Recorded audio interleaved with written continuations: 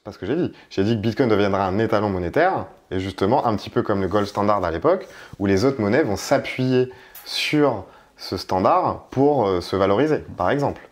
Donc, euh, donc pour moi, c'est pas euh, Donc, il y aura incompatible. toujours des paiements en euros. Ah, En fait, ben, en pour fait, moi, c'est là, voilà, c'est là où ça, le- le- la valorisation va s'inverser, c'est qu'aujourd'hui on valorise le bitcoin en dollars, C'est ça. et après on valorisera le dollar en bitcoin. Exactement.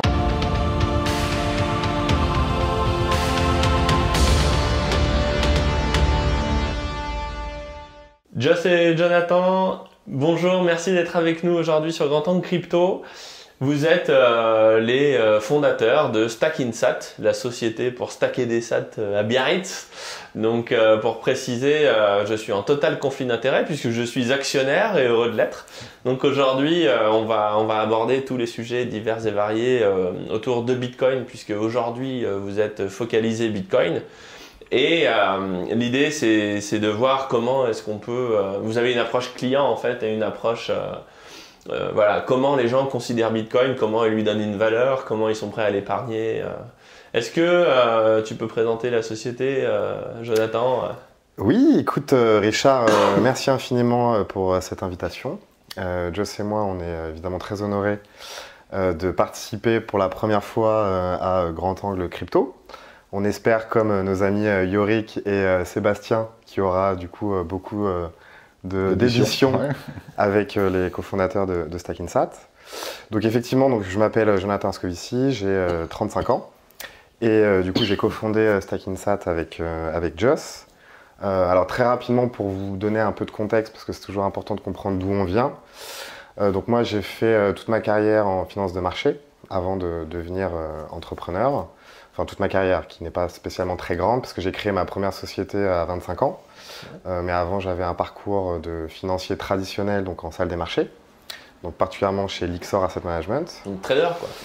Donc j'étais pas trader, mais j'étais euh, j'étais plutôt sur la partie euh, sales, plutôt sur la partie sales marketing. Et en gros, moi j'ai subi la première, euh, enfin la première crise financière, en tout cas la grosse crise financière de 2008-2009.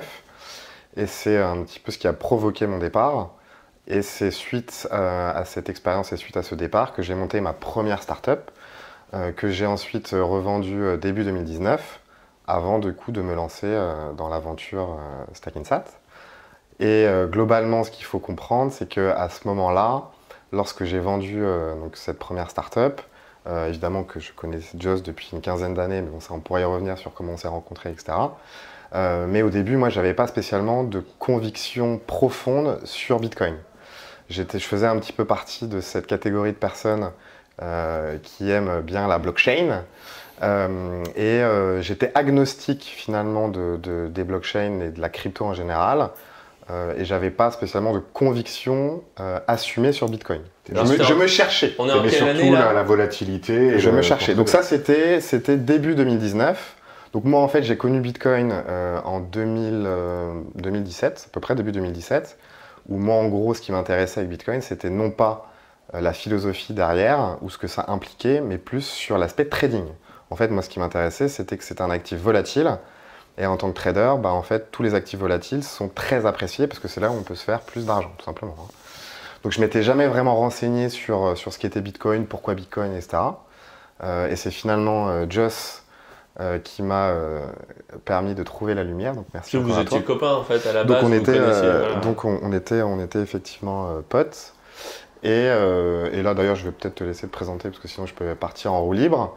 Mais globalement, euh, donc effectivement, là on avait à ce moment-là euh, non pas l'idée de Stackinsat, mais Joss euh, plus ou moins bossait pour moi en tant qu'analyste, parce qu'en fait moi j'ai j'ai créé une holding où je fais des investissements en start-up. Et justement, tous ceux qui étaient liés plus ou moins à la crypto et à la blockchain, bah, c'est Joss qui faisait en fait euh, bah, des due deals sur les projets. Alors, due deal. faut Donc ah oui, des due diligence, c'est-à-dire des audits euh, sur, euh, sur les projets, sur les smart contracts, en gros sur euh, la technologie qu'il y avait derrière un projet, ou pas. Et sur la Et- viabilité du business model et voir. euh, voir. Et d'ailleurs, c'était souvent bullshit, hein, mais bon, ça on pourra y revenir Mhm. euh, si, si tu veux. Euh, mais moi, principalement, les investissements que j'ai faits étaient euh, liés euh, à la fintech, donc les sociétés qui innovent euh, en finance, dans les services financiers.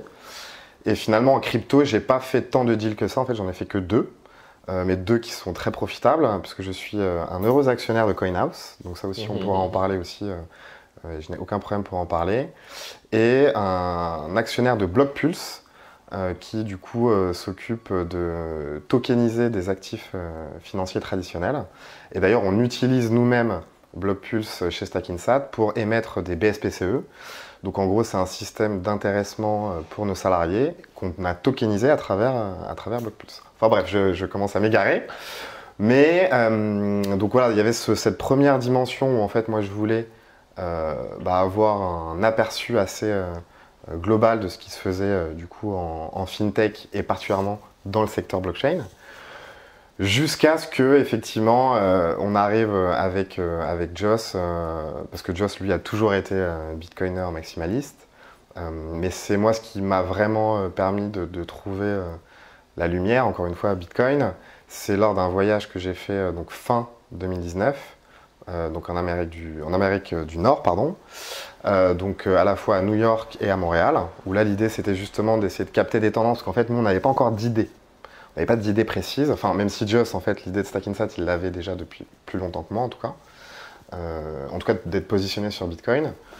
Mais moi à ce moment-là j'avais besoin vraiment d'essayer de trouver des tendances et je sais qu'aux US ils ont toujours 5 ou 6 ans d'avance sur nous et l'idée, c'était tout simplement de, potentiellement copier une idée pour la reproduire euh, en Europe.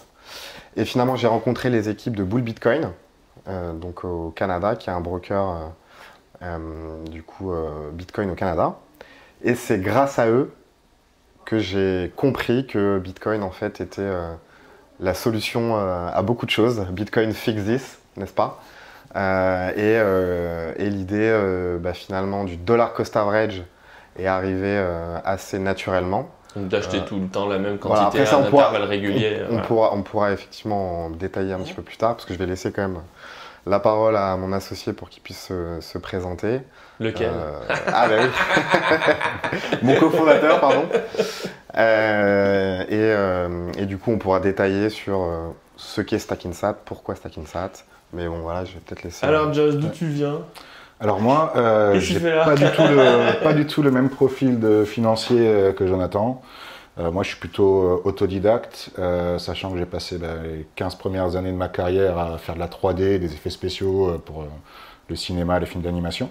Donc vraiment rien à voir.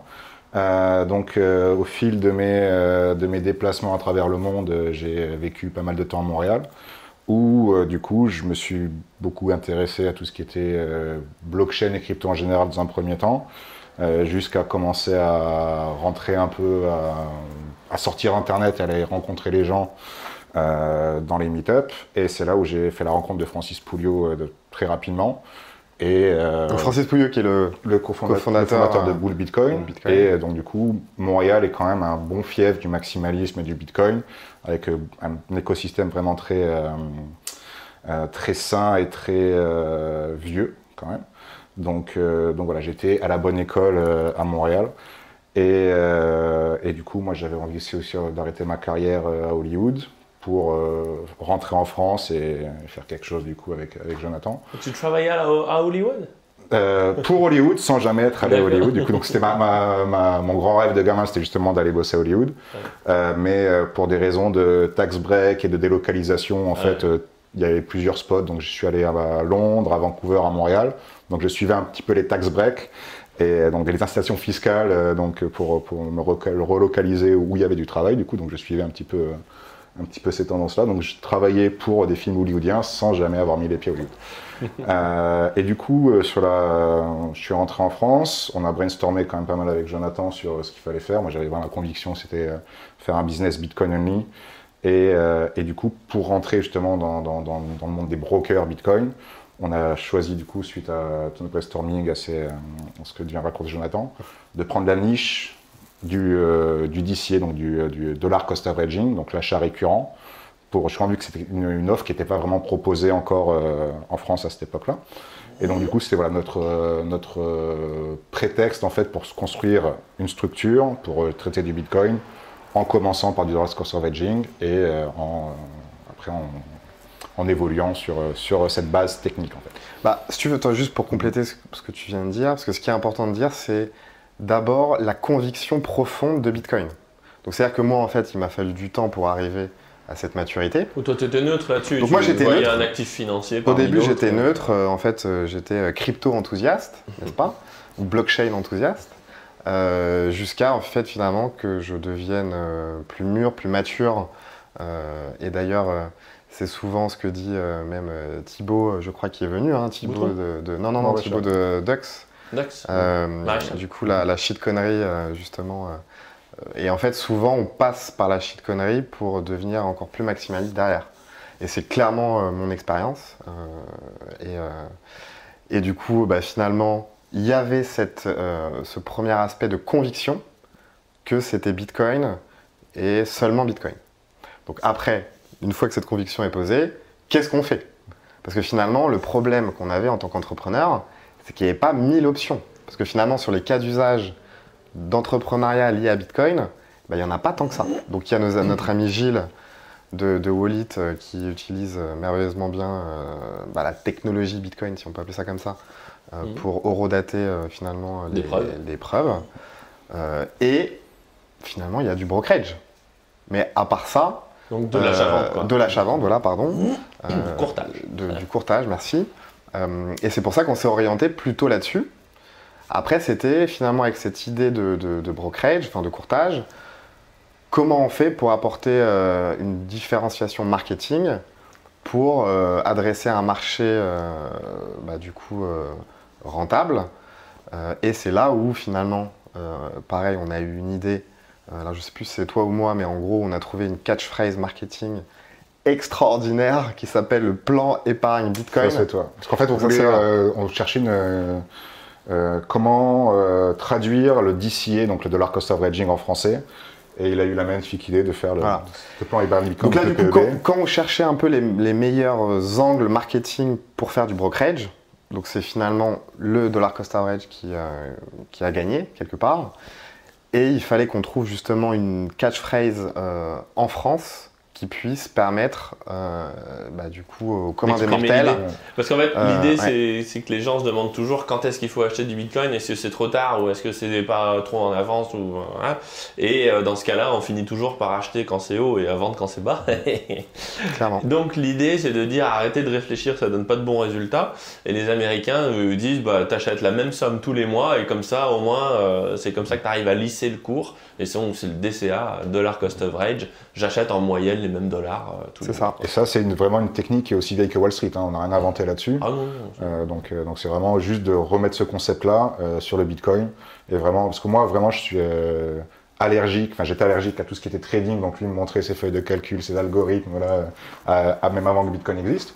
Du coup, et moi, c'était un truc qui me sortait par les yeux. Je fais, euh, euh, arrête, moi, je fais de la 3D, je suis pas là-dedans. Et du coup, c'est un peu euh, le- la rencontre de ces deux mondes, du, euh, du trader et du, euh, du bitcoiner qui a pas envie de trader, qui a donné un peu le- ce concept de stacking sat. Et donc, juste pour finir aussi sur la gêne, on a commencé vraiment tous les deux. On a ouvert la société qui a été enregistrée le, le 3 janvier, date d'anniversaire du premier bloc de Bitcoin. Donc ça, c'était quand 3 même- janvier 2020. 2020, exactement. Donc, donc par un concours de circonstances, on est tombé sur cette date d'anniversaire. On est très content d'ailleurs d'avoir cette date-là pour commencer. Et euh, donc on a commencé tous les deux. Et après, euh, après avoir fait un MVP avec une euh, société de développement, on a recruté notre troisième cofondateur, Mathieu, qui est maintenant notre CTO. Et donc on a pu réunir voilà, un peu tous les, tous les corps de métier pour pouvoir construire Stacking Sat. Et l'idée euh, aujourd'hui, donc, euh, vous faites du courtage, donc achat et vente de Bitcoin, et c'est Pas de l'achat-vente. Hmm. Pour l'instant, on fait que de la conversion euro-bitcoin. Pour l'instant. On n'a pas de conver- euh, conversion Bitcoin-Euro et c'est un choix délibéré, vu que nous, on ne veut pas euh, que, que nos utilisateurs viennent chez nous faire de la spéculation à court terme. On veut vraiment qu'ils aient une conviction d'investissement, une thèse d'investissement sur du long terme du Bitcoin.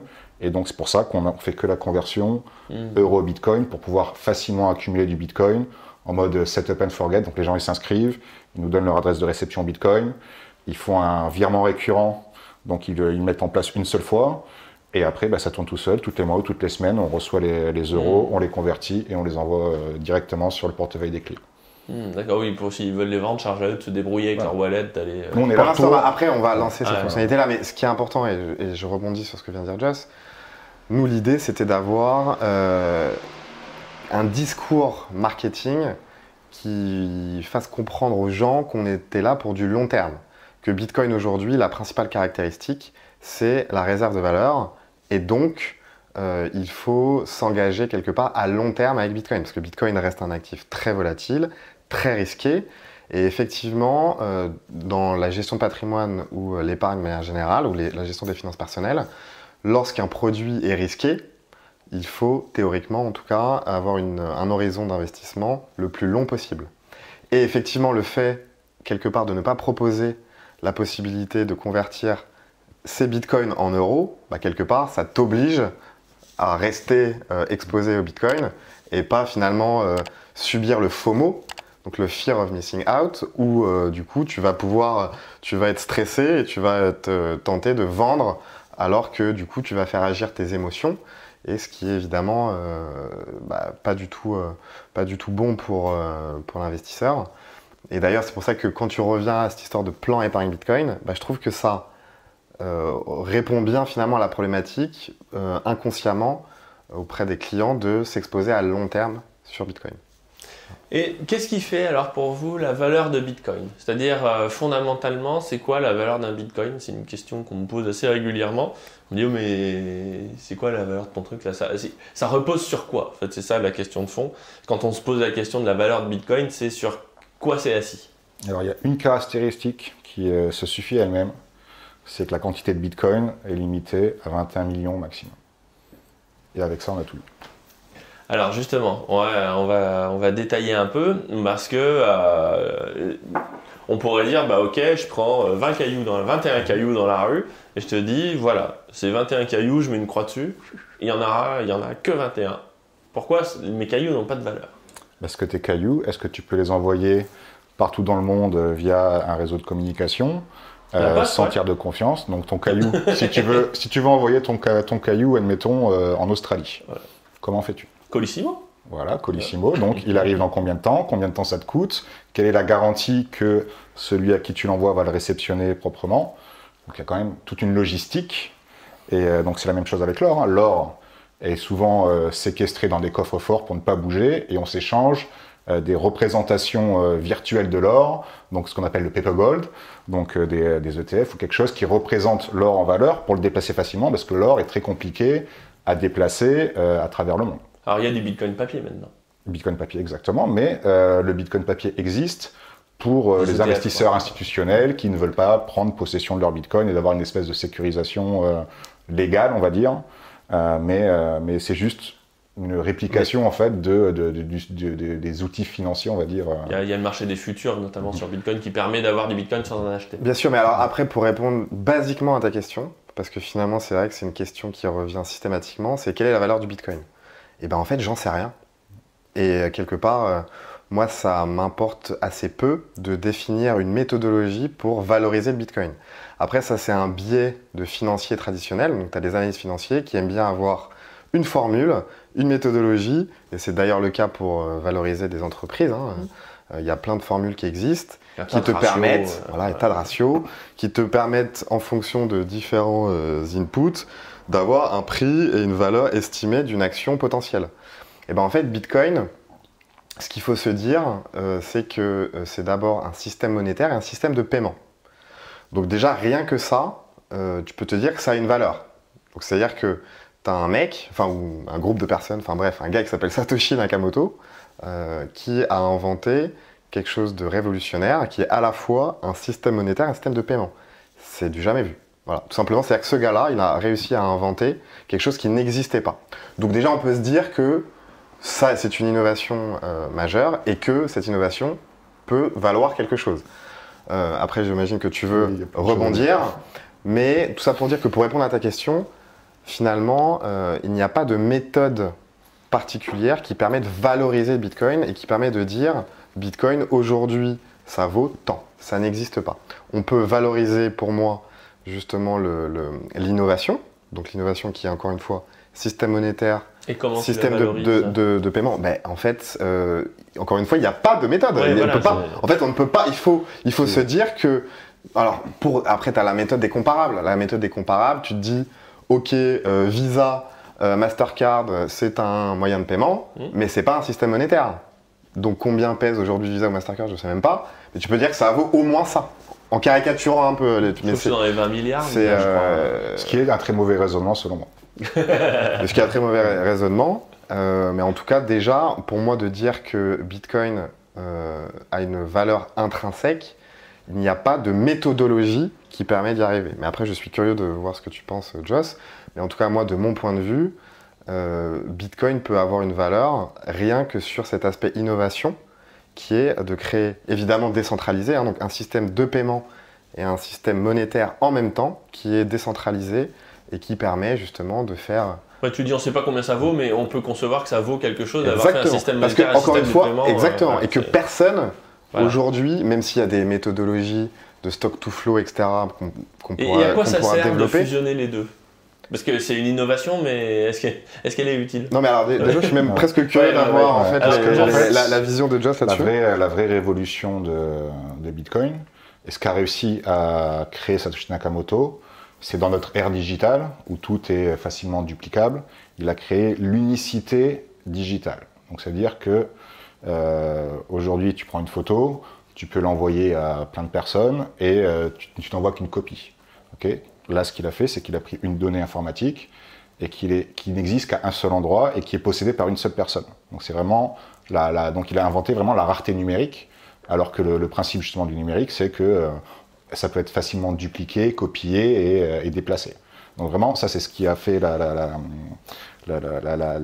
première valeur ou la première pièce euh, du, système monétaire Bitcoin, c'est que tu as enfin résolu le problème de, l'unicité digitale sans avoir besoin d'une tierce partie comme une, comme une banque ou comme un, comme un serveur central qui va euh, garantir que cet objet digital existe qu'à un seul endroit ou n'est possédé par une seule personne.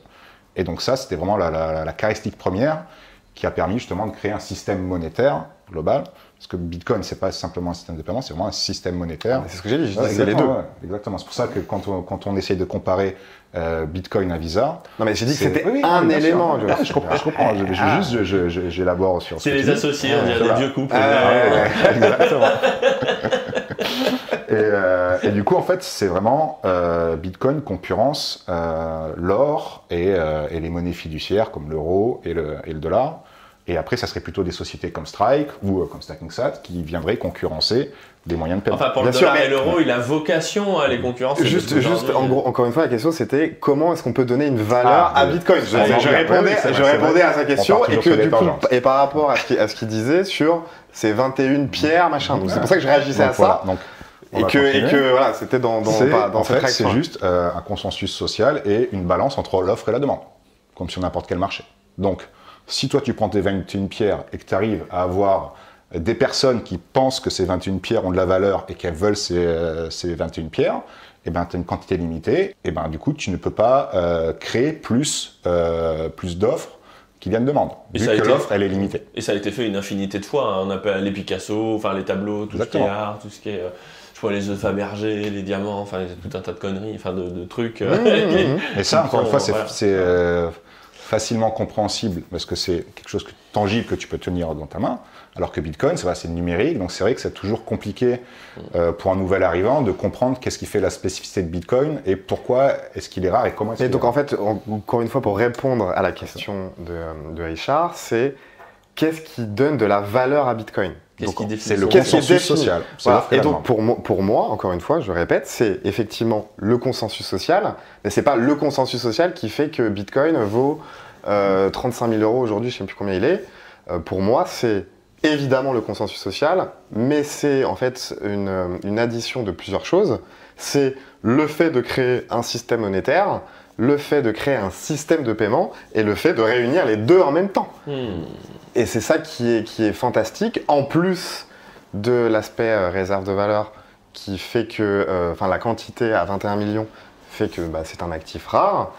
Encore une fois, il y a la méthode du stock to flow euh, que je vous invite à, voir si vous, le, si vous le souhaitez, qui fait partie pour moi des rares méthodologies qui permettent d'estimer à peu près parce que vu que c'est un actif qui est comparable à l'or et qu'en général les matières premières sont valorisés en utilisant cette méthode, c'est quelque chose qui, en tout cas, qui a du sens intellectuellement. Oui, qu'on peut société que la euh, méthode perd de son efficacité avec le temps puisque la, la fin du stock to flow est programmée dans Bitcoin. Donc, Complètement. euh, alors que l'or ou le ce qu'on veut, il y a toujours un stock à C'est pour bon, bah, pour ça que c'est très difficile. C'est vrai que quand tu as un néophyte qui pose la question, mais ça repose sur quoi? Donc moi, qu'est-ce que je réponds? Et de manière assez basique, et c'est vrai qu'en général, quand je réponds ça, bah, les gens disent Ah, ben ouais, en fait, un système de paiement et un système monétaire en même temps, putain, ah ouais, c'est quand même un truc de fou, quoi. Voilà. Après, c'est vrai que c'est, il y a, mais il n'y a pas de réponse précise sur Bitcoin, euh, qu'est-ce que ça vaut. Après, il y a aussi, le- on pourrait dire, euh, ça vaut au moins la quantité d'énergie qui est dépensée.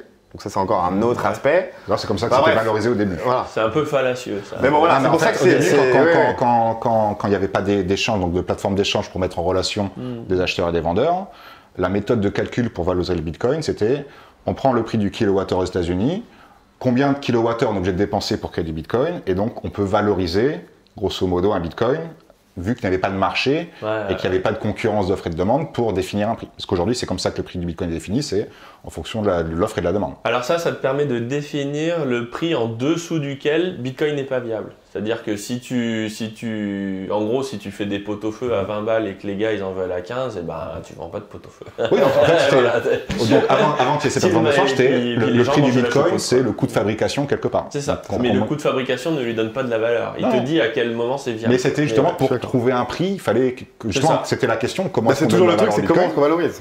Et donc c'était une méthode qui, qui- qui existait avant qu'il y ait ces plateformes d'échange.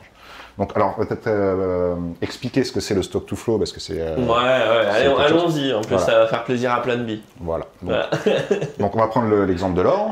Donc il y a un stock qui est en circulation, donc qui a déjà été extrait et miné et euh, Qui est un cube de 20 mètres d'arête qui 21, rentre sous, l'arc de triomphe. je crois que c'est 21 C'est mètres. 21, le-. Et d'ailleurs, il y a souvent des, des allusions à- avec ça sur le fait que Satoshi ait voulu euh, donner Ah. 21 millions par rapport à cette référence-là. Bon, après, ça fait partie Mais des... 20 un cube de 21 mètres, ça Ouais. rentre sous l'arc de triomphe, Exactement. potentiellement. Tout l'or du monde extrait, ça fait à peu près ça, quoi. Donc ça c'est le stock actuel. Voilà. Ok. Ensuite, tous les ans, il y a du, euh, du nouvel or qui est extrait.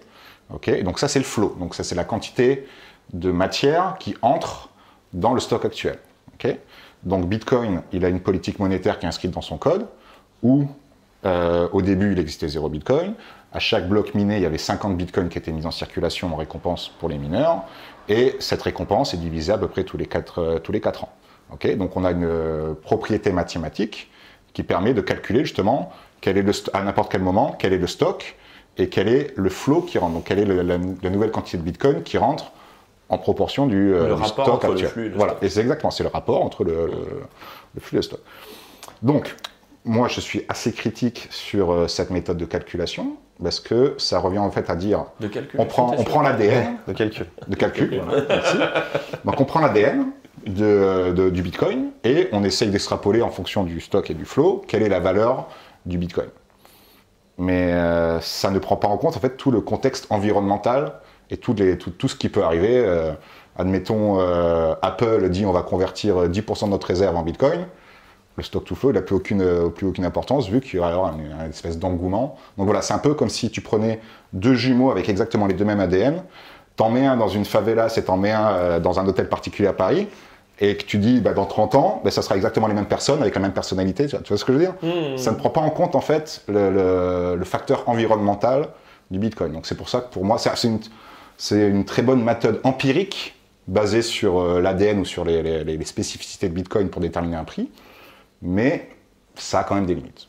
Puis le, alors donc le gars qui a créé ça pour Bitcoin, qui l'a développé, s'appelle Plan B sur Twitter. Mhm. Je sais plus son nom, c'est un danois je crois ou un Ça, suédois. C'est un blond de là-haut quoi. ça, reste un, ça reste un anonyme. Voilà, il est anonyme. Ouais. Ouais. Et, euh, et du coup, euh, son, son truc a plutôt pas mal marché. Et puis maintenant, il est dans les entre moins 1 et moins 2 écarts types. Donc il commence à. Mais bon, bref. Tu en penses quoi, toi, en tant que financier, justement, de cette euh, Bah, histoire stock to flow? Encore, encore une fois, c'est ce que je disais il y a 5 minutes, c'est que Bitcoin, il n'y a pas de méthode pour le valoriser. C'est juste, il faut se dire, c'est un concept qui est révolutionnaire, euh, qui associe encore une fois un système monétaire, un système de paiement en même temps, décentralisé et contrôlé par personne. Enfin, il est auto-régulé euh, grâce justement à la théorie des jeux de, Nakamoto. euh, qui fait que, encore une fois, il n'y a pas de méthode qui permet de valoriser. Il faut avoir cette conviction de son utilité et que, évidemment, son, utilité va croître dans le temps. Qu'aujourd'hui, l'utilité majeure en Europe, elle est plutôt sur l'aspect réserve de valeur, parce qu'aujourd'hui, l'utilité en tant que moyen de paiement, en Europe, elle n'a pas trop de sens, parce que finalement, le système bancaire, même si on peut le critiquer, il fonctionne plutôt bien, et les gens n'ont pas de douleur euh, liée au, paiement, donc finalement, Bitcoin en tant que moyen de paiement, il n'y a pas trop de sens. En revanche, comme des pays comme le Salvador, dont on reparlera, j'espère, tout à l'heure, euh, eux, 70% de la population était débancarisée. Euh, et effectivement, ils avaient besoin d'un moyen de paiement pour acheter des biens et des services. Et puis recevoir euh, même de l'argent. Et recevoir de, de, de, l'argent des rémittances de, la diaspora salvadorienne vers, vers les, les habitants. Tu as aussi euh, d'autres pays qui souffrent de l'inflation, de l'hyperinflation, où là, effectivement, il y a une utilité. Au Liban et même dans d'autres pays euh, en ce moment, et puis l'hyperinflation va devenir de plus en plus importante. Là, il y a eu encore une fois une utilité. Donc finalement, c'est la conjonction de plein d'éléments qui fait que Bitcoin vaut aujourd'hui tel prix. Mais finalement, pour un financier comme moi, qu'est-ce qui fait le prix? Bah, C'est l'offre et la demande, tout simplement. Aujourd'hui. Alors ça veut dire que Bitcoin, il a une utilité dans les pays en développement ou qui ont des problèmes une utilité En, tant que moyen de paiement. Ouais, système de paiement. Et globalement, c'est les Occidentaux qui spéculent dessus sur euh, quelque chose qui est utile pour les pays en développement? Bah, En fait, le truc, c'est que Bitcoin a des caractéristiques euh, Ces caractéristiques-là, elles sont plus ou moins importantes bah, selon euh, dans quelle partie du monde tu, tu existes, tu vis. Euh, donc il y a certaines propriétés, donc il y a une politique monétaire qui est inscrite depuis le début et qui est immuable. Okay donc on sait qu'il y aura jamais plus de 21 millions de bitcoins, que euh, tout, à peu près tous les 4 ans, la récompense, le, flow est divisé par deux, donc il y a beaucoup moins, il y a deux fois moins de bitcoins tous les 4 ans qui rentrent en circulation. Euh, Bitcoin, il est incensurable. Donc euh, la Chine, avec soit leur super firewall, euh, n'a jamais réussi à empêcher une transaction Bitcoin. Ok. donc des pays, par exemple comme l'Iran, qui sont bloqués du système SWIFT, du système de paiement international, bah, pour eux, le, fait que tu ne peux pas interdire une transaction a quand même beaucoup plus de valeur que nous qui, là, qui sommes à Paris et qu'on personne ne va nous empêcher de demander notre resto ou de. Et encore, quoique, quand j'ai déménagé en Suisse, je peux te dire que pour faire un virement de 20 000 balles en Suisse, pour déménager. Non, mais vraiment. Mais ça, les gens n'ont pas encore compris cette utilité qui est majeure. Il faut passer les frontières. C'est que quand, tu regardes euh, globalement euh, dans la totalité des paiements qui sont faits en France, euh, la plupart, c'est des paiements de moins de 50 euros qui passent en sans contact. Euh, il y a très peu de personnes qui s'amusent à déplacer du 20 000 euros. moi, voilà, j'étais dans, des pays étrangers. Quand j'ai dû euh, euh, passer mon argent de Londres, enfin d'Angleterre au Canada, au Canada en France. D'ailleurs, au Canada, quand je suis arrivé, après 5 ans, mes dollars canadiens avaient déjà perdu 25% de la valeur comparé aux dollars américains. Ok? enfin bon, voilà. Donc c'est vraiment, ça dépend du pays ou de l'environnement bancaire dans lequel tu es. Et chaque euh, caractéristique du Bitcoin euh, va te parler plus ou moins. C'est ce que je veux dire? Et donc, la valeur, ça, c'est la valeur que toi, tu trouves au Bitcoin. Après, la valeur du Bitcoin est définie globalement et mondialement. Donc, il y a des gens, comme tu dis, par exemple, à la City à Londres, qui eux, ils n'ont aucun problème euh, bancaire, aucun problème pour faire des transactions. Mais vu qu'ils savent qu'il y a des pays dans le monde qui ont ces mmh. problèmes-là et qui vont vouloir, tu vois, ça c'est toute une théorie du jeu, des gens qui pensent. Euh, mais les utilisateurs du moyen de paiement mmh. Bitcoin, clairement, ils sont pas dans les pays riches, quoi. Ah bah non. Bah après, euh, par exemple, ce qui est, ce qui est bien, c'est que tu as un moyen de paiement qui quelque part est un peu hors du système bancaire, donc qui est euh, beaucoup moins traçable. Donc, admettons, tu as. Moins traçable. Ouais. Qui n'est pas, pas centralisé. en fait, par exemple, regarde, tu as, un, tu as un conjoint avec ta femme, ok, et tu veux faire une transaction qui n'apparaisse pas sur ton compte en banque. Donc, soit tu, bah, tu trouves le moyen d'ouvrir un autre compte en banque auquel ta mmh. femme n'a pas accès, mais si tu veux faire une transaction euh, pour payer quelque chose que ta, que ta, femme ne voit pas sur le relevé de compte, eh ben, tu peux payer en bitcoin et ta, ta femme n'en saura jamais rien. Tu vois ce que je veux dire? Mmh. Donc, il y a toujours. Y a toujours euh, Donc, pour bien être clair, c'est ultra traçable. Mmh. Pas, pour faire du crime, le dollar, c'est vachement mieux. Et par contre, c'est pseudonyme. Donc, et puis on peut, voilà, on, ramène la, privacy, la vie privée, mais on est complètement traçable. Mais en termes de vie privée, même par rapport à sa banque ou son truc. Par contre, la question que je me pose, c'est une fois qu'on a fait joujou avec ces bitcoins et qu'on les a déclarés aux impôts, etc., pour revenir en banque, par contre, c'est peut-être un peu plus compliqué, non? Je Bah, parle, par plus- exemple, oui, je, mets, je mets 1000 euros sur un wallet en bitcoin, 5 ans plus tard, je reviens avec un million. Le banquier, il doit poser des questions. non il vient d'où le million Oui, c'est sûr, c'est sûr. Après, bon, il y a des questions de, de- de blanchiment d'argent, d'origine Ouais. des fonds, etc., qui, qui, est des, qui, comment dire, qui sont des contraintes majeures pour des acteurs comme nous, régulés comme Stackinsat. Euh, mais je pense que ce problème-là, en tout cas j'espère, va s'estomper à travers le temps. Va- Bitcoin va se normaliser, en tout cas en Europe, comme un produit d'épargne et d'investissement. Et donc les banques, inéluctablement, elles vont euh, aller aussi dans ce sens-là. Avant qu'en Europe on puisse arriver à une, utilité en tant que moyen de paiement, je pense que ça ne sera pas pour tout de suite. En revanche, dans des pays, parce que c'est vrai qu'en Europe, il y a quand même des pays qui peuvent être concernés, mais en tout cas en France ou dans, en tout cas dans les pays riches, comme tu dis, euh, l'usage est, moins, euh, est moins évident. Mais en tout cas, pour peut-être boucler sur cette partie euh, valorisation du Bitcoin, nous, chez Stackinsat, on a une conviction de long terme. On est convaincu que ce système de paiement, ce système monétaire et tous les arguments qu'on a sortis tout à l'heure bah, vont nous permettre euh, bah, d'avoir une vision à long terme sur l'appréciation du Bitcoin. Et donc, euh, il fallait qu'on trouve la meilleure stratégie pour accumuler du Bitcoin. Euh, et vu que personne ne sait quel est le bon moment pour acheter, parce qu'en général, d'ailleurs, ça c'est aussi très important, j'en ai parlé tout à l'heure, mais l'investisseur, mais en général, il a tendance à suivre ses émotions. Et, euh, ces émotions sont des biais cognitifs qui font, euh, bah, prendre de mauvaises décisions.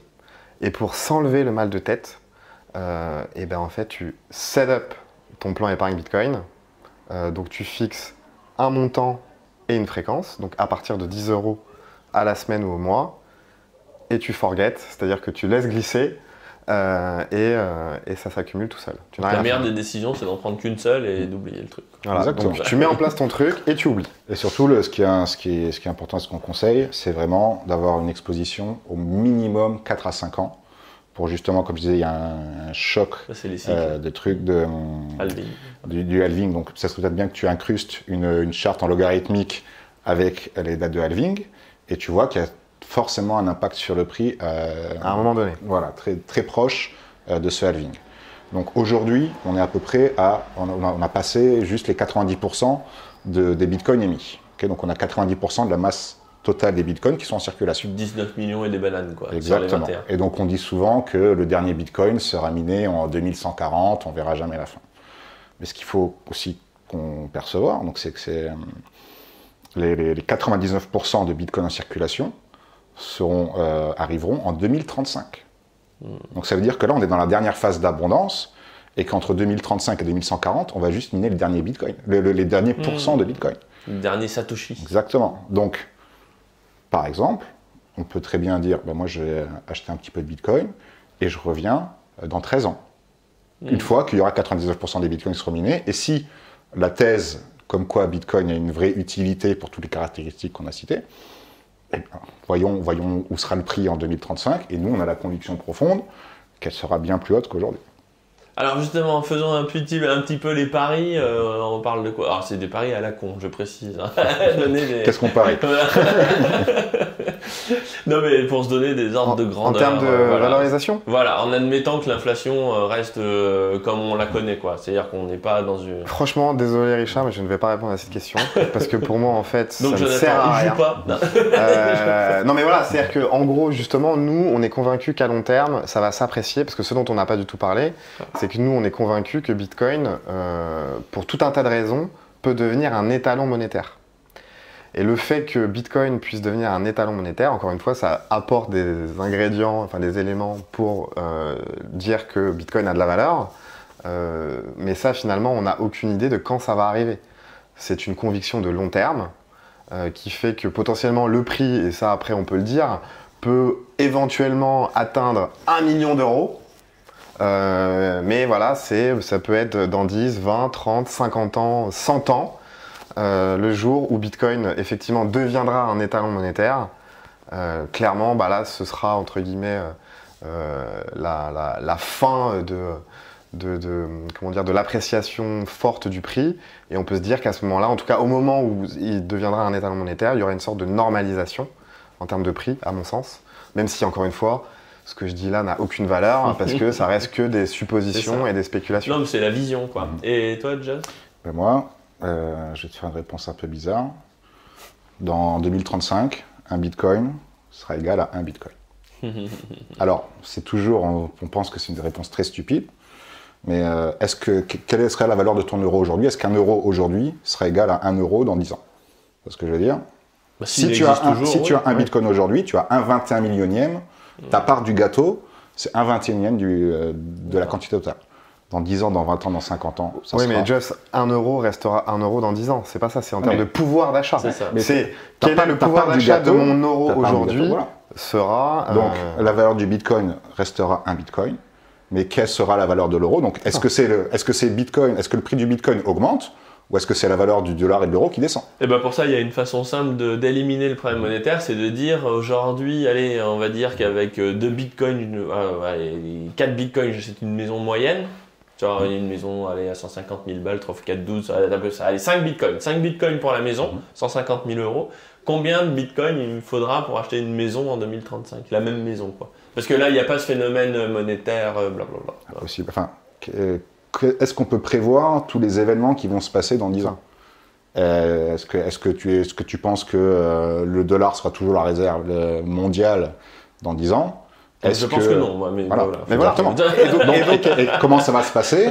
Euh, Qui va prendre le dessus? Là, on voit qu'avec la Russie, ils commencent un peu à se chamailler. euh, ils menacent de couper la Russie du système SWIFT, donc du système de paiement international. Ah, mais c'est fait, ça, La je pense, Chine- Swift, non? Non, non, non, c'est pas pas fait encore. C'est pas coupé C'est pas fait, Parce que justement, euh, pour les Russes, ça, c'est un acte de guerre. Hmm. De, coup, de, de les, de les couper. Donc, il y y, a- il y a tellement de, forces en jeu, et en ce moment, ça va très très vite, entre la Chine, euh, la Russie, les États-Unis, les pays émergents, euh, la- l'Amérique du Sud, la fin. Tellement de choses qui peuvent se passer. Mais ce que je- question- la chose que je garantis, c'est que si j'ai un bitcoin aujourd'hui, j'aurai exactement la même part du gâteau dans 10 ans, et même, et même tu auras sûrement un peu plus que ça, parce qu'on on a 21 millions de bitcoins qui seront un peu moins de 21 millions, donc on pourra jamais avoir plus de 21 millions de bitcoins. Le vrai chip, c'est euh, 20,999. Ouais, compagnie. oui, c'est logarithmique, donc on Sauf toujours que- des pouillèmes par deux. Sauf voilà. qu'il y a euh, des bitcoins qui sont inaccessibles parce que les gens ont perdu leur clé privée. Mm. Donc en fait, la part du gâteau. Enfin, exactement. Enfin, non, le gâteau globalement diminue, mais toi, ta part reste la même. Donc ça veut dire que peut-être que. La part augmente. Exactement. Donc, donc voilà. Mais c'est très- intéressant parce que tu vois, par exemple, l'or, qui est un étalon monétaire et peut-être même un système de paiement au moins à une époque, euh, une coupe de cheveux euh, sous Jules César coûte la même chose en or qu'une coupe de cheveux aujourd'hui. Et ça, c'est assez. euh, Donc en fait, l'or est, est neutre dès l'instant qu'on enlève les gains de productivité. C'est-à-dire que les téléphones portables, évidemment, bon, euh, Mmh, mmh. euh, indépendamment du fait qu'ils n'existaient pas sous Jules César, il y a une appréciation du, du pouvoir d'achat euh, sur les, la- les- là où il y a des gains de productivité. Mais du coup, sur Bitcoin, on n'y est pas encore. C'est-à-dire qu'on on est encore sur une courbe d'adoption. Et du coup, la- le pouvoir d'achat de Bitcoin augmente. C'est d'ailleurs le gars qui a acheté du Bitcoin en 2011, euh, coucou Pierre, et ben il, voilà, avec un Bitcoin, il, a, il a acheté ça à un euro, quoi, ou même pas un euro. Donc on est encore sur une courbe d'adoption. Et d'ailleurs, la, la- la vélocité de la monnaie, de la vélocité de Bitcoin, s'il se généralise comme moyen de paiement, comme système de paiement, à ce moment-là, même si tu as atteint ton plafond de 21 millions ou, euh, ou les 99%, si la vélocité décolle, le prix décollera aussi. Donc, euh, et c'est pour ça que ça nous emmène au Salvador, parce qu'en réalité, il faut s'intéresser à Bitcoin. Plus je fais d'interviews, et plus je me rends compte que le système de paiement, et D'ailleurs, c'est écrit, euh, enfin, je veux dire, c'est con en fait ce qu'on dit, parce que c'est la, la première phrase du papier, de, c'est Bah le ouais. titre du papier de Satoshi Ouais, mais Nakamoto. à oublier ça. non, mais c'est clair. Euh, euh, système paiement en cash, quoi. Ah, C'est comme le pair à c'est écrit. de- Sans banque, sans, sans, une- sans entité centrale. C'est c'est comme le port-salut, c'est écrit dessus, quoi. C'est Donc, Ah, euh, c'est sûr. Et Alors, on redécouvre après- le truc. Ce qu'il y a, c'est c'est un système de paiement, les gars. toutes les transactions sur Bitcoin sont inscrites donc dans le, dans le registre de compte et, et conservées pour l'éternité. Donc ça veut dire que ta coupe de cheveux, euh, comment dire, elle a une valeur quand même beaucoup moins importante que, de, que, euh, que, par exemple mon, mon épargne en Bitcoin. C'est ce que je veux dire. Donc euh, à terme, toutes les transactions qui vont être faites sur Bitcoin sont des transactions importantes, qui ont beaucoup de valeur, et tu vas pas faire une transaction que tu vas inscrire dans le registre distribué pour acheter un café. Ok, c'est euh, pas l'idéal, sachant qu'on a une quantité quand même assez limitée euh, par bloc. Donc toutes les transactions au monde ne peuvent pas tenir sur la blockchain Bitcoin. Donc c'est pour ça qu'il y a une solution qu'on appelle le Lightning Network, qui est un réseau au-dessus, euh, pour euh, vraiment vulgariser. À l'époque, on avait de l'or, on s'échangeait de l'or, c'était dangereux, coûteux, donc on l'a bloqué dans des, dans des coffres. Et pour s'échanger la valeur de, de l'or, on avait des, des, bons qui représentaient la valeur de l'or et on pouvait se l'échanger facilement. Des lettres de change d'ailleurs pour changer. Et donc c'est un peu la même chose avec Lightning Network, c'est-à-dire qu'on va prendre des, bitcoins, on va faire une transaction sur le réseau bitcoin qui va mettre en séquestre ces bitcoins-là sur le réseau Lightning. À ce moment-là, ces bitcoins-là, tu vas pouvoir les échanger autant de fois que tu veux, sans avoir besoin de passer par un mineur, donc sans avoir besoin d'attendre euh, la validation dans un bloc. Et à ce moment-là, tu peux faire autant de transactions que tu veux euh, avec n'importe qui sur ce réseau-là et c'est confirmé instantanément. Et donc du coup, après, si tu veux récupérer ta valeur sur le réseau Bitcoin, donc pour récupérer ton or digital, bah, tu refais une transaction et tu récupères ton, euh, ton or ou ton Bitcoin. Du coup, c'est un peu, je pense que c'est assez facile à comprendre en prenant, on, séquestre euh, donc de l'or ou du Bitcoin, mmh. on le met sur un autre réseau pour faire des échanges facilement, et puis après on peut revenir tout aussi bien sur. Et chaque transaction coûte des pouillèmes parce qu'on passe pas par le système de validation effectivement des mineurs. Mais par contre, ça, ça appelle, c'est une question que je vais vous poser. Euh, en réalité, ça concourt à centraliser le, système parce que si tu veux faire tes courses, euh, on est au Salvador et tu fais tes courses en Satoshi tous les mois. Et, euh, et, et le problème, c'est que tous les mois, il faut que tu mettes de l'argent sur Lightning pour aller faire tes courses. Donc, chaque mois, je vais me payer une ouverture de transaction on-chain pour réalimenter, parce que mon patron, il me paye pas en bitcoin. Donc du coup, il faut que je réalimente. Donc je paye une transaction tous les mois, et le jour où la transaction, elle vaut 30, 40, 50 balles, et eh ben ça me fait un frais. Donc je vais chercher à, écraser ma transaction. Je, pense que tu caricatures un peu, mais je pense que Joss, tu vas répondre là-dessus. Mais, mais, globalement, pour moi, ça, tu, ton hypothèse, c'est que chacun a son propre canal ça que tu sous-entends. Bah, sauf, que, sauf que, dans la vraie vie, non, mais, sauf que c'est pas comme ça que ça va se passer. C'est oui, pas, pas, le... pas comme ça que ça va se passer dans la vraie vie. Ça, effectivement, ton, ton, ton point, je l'entends. En fait, juste pour finir, l'idée c'est qu'à un moment, je vais voir euh, Binance, puis euh, je mets mes sous sur Binance, et lui, il s'occupe de faire du batch multicanal, ah bah etc. machin quoi. En fait, en fait, comment est-ce qu'on gère ce passage où je dois réalimenter Non, non, mais en gros, en gros, tu auras des hubs de liquidité et tu vas te servir de ces hubs de liquidité. Alors vas-y, explique. Bah vas-y, En fait, il est meilleur que moi là-dessus. Euh, ce qui est important de comprendre, c'est que c'est on a euh, donc le réseau Bitcoin qui est ce qu'on a expliqué on-chain. Et après, on a une quantité de Bitcoin qui sont du coup sur le réseau euh, Lightning. Donc en séquestre. Voilà, donc, donc en séquestre et donc sur, ce, sur cette couche supérieure. Et après, il y a déjà des bitcoins qui existent là, dans, dans ce truc-là, donc tu ne seras pas obligé de euh, prendre des bitcoins et les mettre sur le réseau Lightning. Tu peux très bien dire je vais prendre des euros, plutôt que d'acheter des bitcoins avec mes euros et de les mettre sur le réseau Lightning, ben, je vais directement acheter des, des bitcoins Lightning. Pas bête. En fait, c'est que tu as, un truc de liquidité, en fait, tu as, une masse monétaire qui est sur ce réseau-là, et toi, tu peux très bien profiter de cette masse monétaire, ou tu peux en rajouter. Et donc, du coup, euh, euh, je n'ai pas les chiffres exactement, mais il y a quand même une bonne proportion de, de bitcoins qui sont sur le réseau Lightning. Et toi, si toi, tu ouvres ton canal, donc tu rajoutes de la liquidité dans ce réseau. Et qui fait le on-ramp Lightning? J'arrive avec mes euros, qui me, me vend des... À terme, ce sera StackingSat. Aujourd'hui, c'est bien des, opérateurs centralisés qui font ça. Ouais. Des, des, exchanges en fait. Bah pas forcément des exchanges, ça peut. Tu vois, typiquement aujourd'hui, si je dis pas de bêtises, je crois que c'est A5 qui a le. Le, le, nœud le plus, euh, le plus fourni en, après, A5 ne vend, pas les oui, Tu as, des, as, des, donc as des, as des systèmes aussi qui te permettent justement de euh, payer, euh, donc payer un acteur centralisé qui lui va pouvoir, sur une seule transaction, euh, ouvrir plusieurs channels et donc euh, distribuer un petit peu de la liquidité. Mais c'est vraiment, faut, faut vraiment, euh, pour moi, la, centralisation dans le, dans le, dans le Lightning Network, c'est pas vraiment un vrai problème, sachant que justement, par exemple, on parle des gros hubs de liquidité comme A5, qui justement permet de, de, alors, je sais pas s'il faut qu'on explique déjà le, réseau Lightning, comment ça fonctionne. Bah, rapidement, on va dire rapidement. Donc, si je veux faire une transaction Lightning avec toi et qu'on n'a pas de, de, de, de canaux. De, exactement. De, de, canal de, canal entre Merci. Donc, euh, moi, ce que je vais faire, c'est que je vais prendre des bitcoins sur le réseau Bitcoin, je vais les mettre en séquence sur le réseau Lightning, on va s'ouvrir tous les deux, on va faire une transaction donc, où tous les deux, on aura on sera une transaction multisig, et moi, je vais bloquer les liquidités que je vais pouvoir t'envoyer. Toi, donc toi, à ce moment-là, moi, je vais pouvoir t'envoyer du Bitcoin en Lightning, Euh, mais toi, tu pourras pas m'en envoyer parce qu'en fait, c'est- dans, dans une seule direction. Donc, si toi, tu veux m'envoyer du Bitcoin, il va falloir que tu ouvres aussi un canal dans un sens. Et par exemple, si moi, je vais mettre, euh, admettons, un Bitcoin que je vais pouvoir t'envoyer, donc je vais pouvoir t'envoyer du Bitcoin. Par exemple, je t'envoie 0,5 Bitcoin. À ce moment-là, toi, tu vas pouvoir me renvoyer après 0,5 Bitcoin une fois que tu l'as reçu. OK? Et ça, c'est vraiment en direct, tous les deux. Par exemple, après, Jonathan, toi, tu as un canal, tu une connexion, euh, donc Avec un canal Jonathan. de paiement avec Jonathan. Moi, je ne suis pas connecté à Jonathan, mais je peux très bien passer par toi pour C'est ça atteindre tout le potentiel de Lightning. Mhm.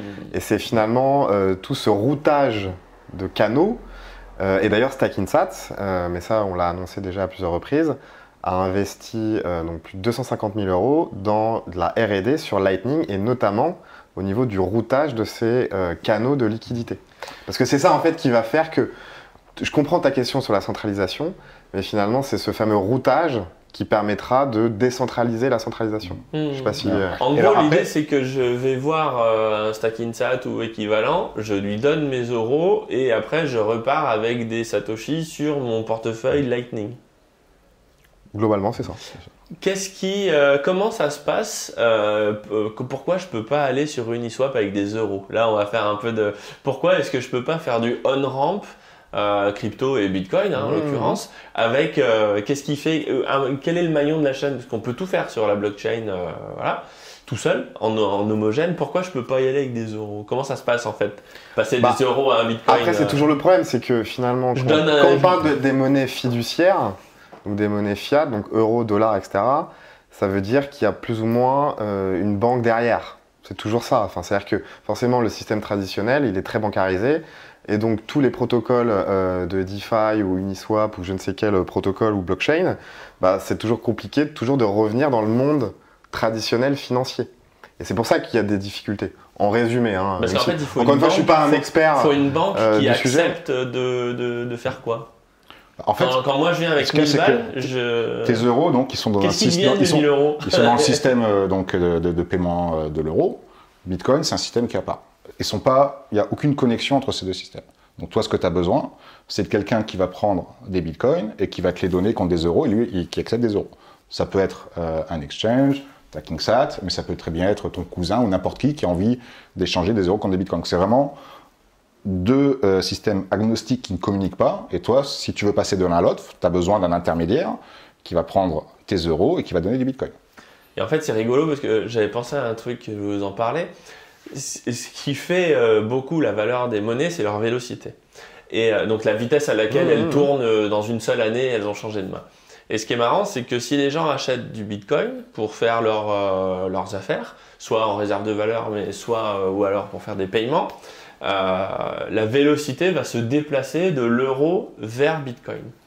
Et ce qui est rigolo, c'est que si la vélocité des euros et des dollars chute, eh ben, au bout d'un moment, ils disparaissent. Parce qu'en fait, l'euro et le dollar sont des monnaies dettes. Et pour avoir une masse monétaire, il faut toujours qu'il y ait plus d'emprunts ou au moins autant d'emprunts qu'avant. Mais si les gens arrêtent d'utiliser, ça veut dire que les euros vont finir à rembourser les emprunts et donc à être détruits. Et les intérêts. Et les intérêts. C'est surtout les intérêts. Non, les intérêts, ils sont partis de la boucle. C'est un, problème de, de, de récursivité, mais ils font partie de la boucle. Donc ça, ça marche, les intérêts. Mais en fait, c'est marrant parce que l'euro et le dollar sont programmés pour s'auto-détruire en cas d'inutilisation. Ouais, ouais, c'est. Tu Et en devrais fait, faire une vidéo d'ailleurs là-dessus. Si, si je donne mon argent à Mais non, mais c'est Stackinsat, marrant, oui, oui. Stackinsat, et ben après, il va le donner à sa banque au bout d'un moment. Et puis, Bah non, nous, euh, nous, nous, euh, les, les frais qu'on va récolter, ben, on les redistribue à nos employés, à nos presta- Et nos ils vont prestataires. payer leur crédit avec ça et ils vont garder les bitcoins pour faire leurs courses. Mais comme tout euro émis, c'est 95% des euros, je crois, un truc comme ça correspond à de la dette, et ben si on, on utilise autre chose pour faire du commerce entre nous, Ouais, Eh ben, sera pas la. ouais. ils disparaissent. Par magie. Tchoup. Bah, c'est plutôt des, des- des gens qui vont faire faillite et des dettes qui vont pas être remboursées. Non, elles vont seront remboursées les dettes. Il y a autant d'euros en dette qu'en. Si personne n'utilise l'euro, qui va, comment, comment le- les, les euros vont rembourser la dette si personne l'utilise Et ben au bout d'un moment, ils vont finir euh, dans. Le seul gars qui va vouloir des euros, c'est celui qui a besoin de payer une dette en euros. Exactement. Parce que tu as toujours besoin de rembourser ta dette pour euh, détruire les euros que tu as créés? Et du coup, quand tu as remboursé toutes les dettes, il n'y a plus d'euros. Exactement. Et l'euro a disparu. Le truc qui est marrant, Est-ce que Bon, les États vont accepter ça parce que je suis pas sûr, je suis pas sûr de comprendre ton, ton histoire d'intérêt, Parce qu'admettons, admettons, il existe 0 euros. On va, donc c'est les banques euh, commerciales qui créent la, la plupart des euros. Mm. Donc je vais, je vais te, tu vas m'emprunter 100, tu vas emprunter 100 euros, donc tu vas créer 100 euros, Ouais. mais tu vas devoir rembourser 100 et 1 euro. Oui, mais intérêts. en fait, les- le 1 euro, je vais le rembourser au banquier et lui, il va les dépenser euh, dans non, l'économie. c'est toi, oui, mais voilà, donc il faut toujours que quelqu'un emprunte pour pouvoir rembourser, rembourser l'empreinte quelqu'un d'autre. En fait, Bah, la, en fait, aujourd'hui, un temps de décalage. Mais je te- je t'enverrai si tu veux le doc. c'est- Il y a d'ailleurs, on va mettre la vidéo là sur la récursivité, j'avais fait ça. C'est un système qui marche, mais il faut le compter avec un cycle de retard. Et en fait, au dernier tour, le banquier finit par redonner l'euro au poissonnier à qui il a prêté de l'argent pour monter la poissonnerie pour avoir du poisson. Et le poissonnier rembourse son prêt avec ce qui lui manquait. La somme de la dette égale à la somme de la masse monétaire. C'est compliqué. Alors que Bitcoin, c'est une monnaie qui n'est pas basée sur la dette. Mais là, Le Bitcoin voilà. existe, c'est simple, c'est facile. C'est pour moi Bitcoin c'est bien coup, plus facile que, que, l'euro. les États, comment pensez-vous que des États vont accepter de voir leur masse monétaire euh, faire spiche Ah, ouais. Voilà, enfin déjà effectivement, euh, ta, ta- ta théorie. On euh, parle d'hyper-bitcoinisation. Allez, non mais je, je vois ce que tu dis. Alors après, on, on peut dévier sur ce sujet-là, mais effectivement, la, la- la- la théorie que tu viens de développer euh, sur le papier fonctionne. Après, est-ce que ça sera euh, dans, produit dans la réalité Ça, je, je ne sais pas, je laisse... euh. Bah, c'est ce que vous disiez euh, au début, c'est-à-dire que Bitcoin a vocation à s'imposer comme système de paiement international. Ah oui, mais j'ai- pas dit que ça- les autres euh, monnaies fiduciaires vont disparaître. C'est pas ce que j'ai dit. J'ai dit que Bitcoin deviendra un étalon monétaire, et justement, un petit peu comme le gold standard à l'époque, où les autres monnaies vont s'appuyer sur ce standard pour euh, se valoriser, par exemple. Donc, euh, donc pour moi, c'est pas euh, Donc il y aura incompatible. toujours des paiements en euros. Ah, En ben, fait, pour en fait, moi, c'est là, là où ça, le- le- la valorisation va s'inverser, c'est qu'aujourd'hui on valorise le Bitcoin en dollars, C'est ça. et après on valorisera le dollar en Bitcoin. Exactement. et ça, c'est Et, coup, effectivement. et les monnaies entre elles seront euh, en concurrence par rapport à leur valeur en Bitcoin. Ce. Exactement. Et c'est là, c'est un retournement. Et c'est là de- le retournement de Et situation. ça, ça euh, nous emmène au Salvador, puisque eux, ils vivent, euh, enfin, ils vivent, ils ont la possibilité de vivre en Bitcoin. Alors, comment est-ce qu'on fait? Et vous êtes allé à El Zonte et vous êtes allé à la présentation euh, de, de Naïb Boukele, le président, euh, sur les Bitcoin Bonds? On va en parler. Enfin, vous avez rencontré tous ces gens-là et vous avez vu et vécu avec. Et vous avez vu et vécu avec euh, toute la bande. Comment ça se passe? Et est-ce que dans la pratique c'est c'est quand même vivable d'avoir son épargne et son salaire qui fait des bons de cabri Est-ce que la volatilité est vivable? Alors, quand on bah, veut utiliser Bitcoin au, quotidien quoi Donc, euh, donc déjà merci de nous poser cette question-là parce que clairement c'est un sujet qui nous tient à cœur. Donc pour recontextualiser rapidement, donc euh, effectivement en novembre dernier on est parti avec un groupe de bitcoiners français, euh, donc bien connus sur cette chaîne, donc notamment Yorick, Sébastien, Roxy et d'autres que j'oublie sans- certainement. Donc on y allait dans le cadre d'une conférence qui s'appelle Adopting Bitcoin, qui a été organisée d'ailleurs par Nicolas Burté, que tu as aussi, je crois, interrogé sur Ouais. ta chaîne, qui était l'un des intervenants de Surfing Bitcoin, euh, deuxième édition, donc Et celle qui de habite au dernière, Salvador, hein, et Nicolas qui, habite, euh, qui habite au Salvador, exactement, qui est aussi à l'origine du wallet euh, Bitcoin Beach, mais ça, on, on en reparlera tout à l'heure. Et bref, globalement, on était tous très contents, bah, finalement, de vivre l'expérience du Salvador, de pouvoir payer son McDo, son Starbucks en Bitcoin. Donc déjà, nous, on était un petit peu euh, comme des enfants euh, à Noël, quoi. Euh, et puis, euh, bah, finalement, de déballer les cadeaux euh, sur place. Donc ça, c'est pour donner un, un petit peu de, un petit peu de contexte. Et finalement, sur place, on a vu différents types d'usages. Et c'est ça qui est important, c'est aussi de revenir sur quelle était la problématique. Donc la problématique, comme je disais tout à l'heure, c'est que 70% des Salvadoriens euh, ne sont pas bancarisés, c'est-à-dire qu'ils n'ont pas de compte bancaire. Effectivement, nous, en Europe euh, et en France, on ne peut pas euh, se projeter là-dessus, mais les gens n'ont pas de compte bancaire. Donc globalement, Beaucoup de cash. euh, 80 à 90% des échanges se font en liquide, en cash. Et le problème du cash, c'est qu'on peut se le faire piquer et du coup, ça empêche le développement d'une économie parce que vous ne pouvez pas avoir de l'épargne, vous ne pouvez pas avoir. euh, voilà. Exactement. C'est un vrai problème. Donc, finalement, Bukele, alors après Et je en cash dollar en plus, ce sont pas de monnaie. Exa- euh, exactement, exactement. Donc en fait, finalement, il faut revenir un petit peu euh, sur l'historique, même si euh, ça prendrait beaucoup de temps. Et d'ailleurs, petite parenthèse qui est importante de souligner, donc le 23 février, on va euh, donc euh, présenter euh, à l'Estia. Donc l'Estia, c'est là où Stackinsat est incubé à Biarritz, enfin Bidar plus précisément.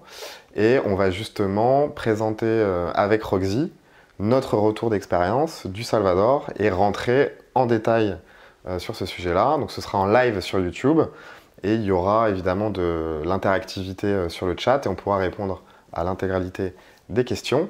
Et en introduction de cet événement, on va aussi annoncer les dates pour la prochaine édition de Surfing Bitcoin. Et on va très probablement aussi euh, annoncer du coup euh, l'affiche.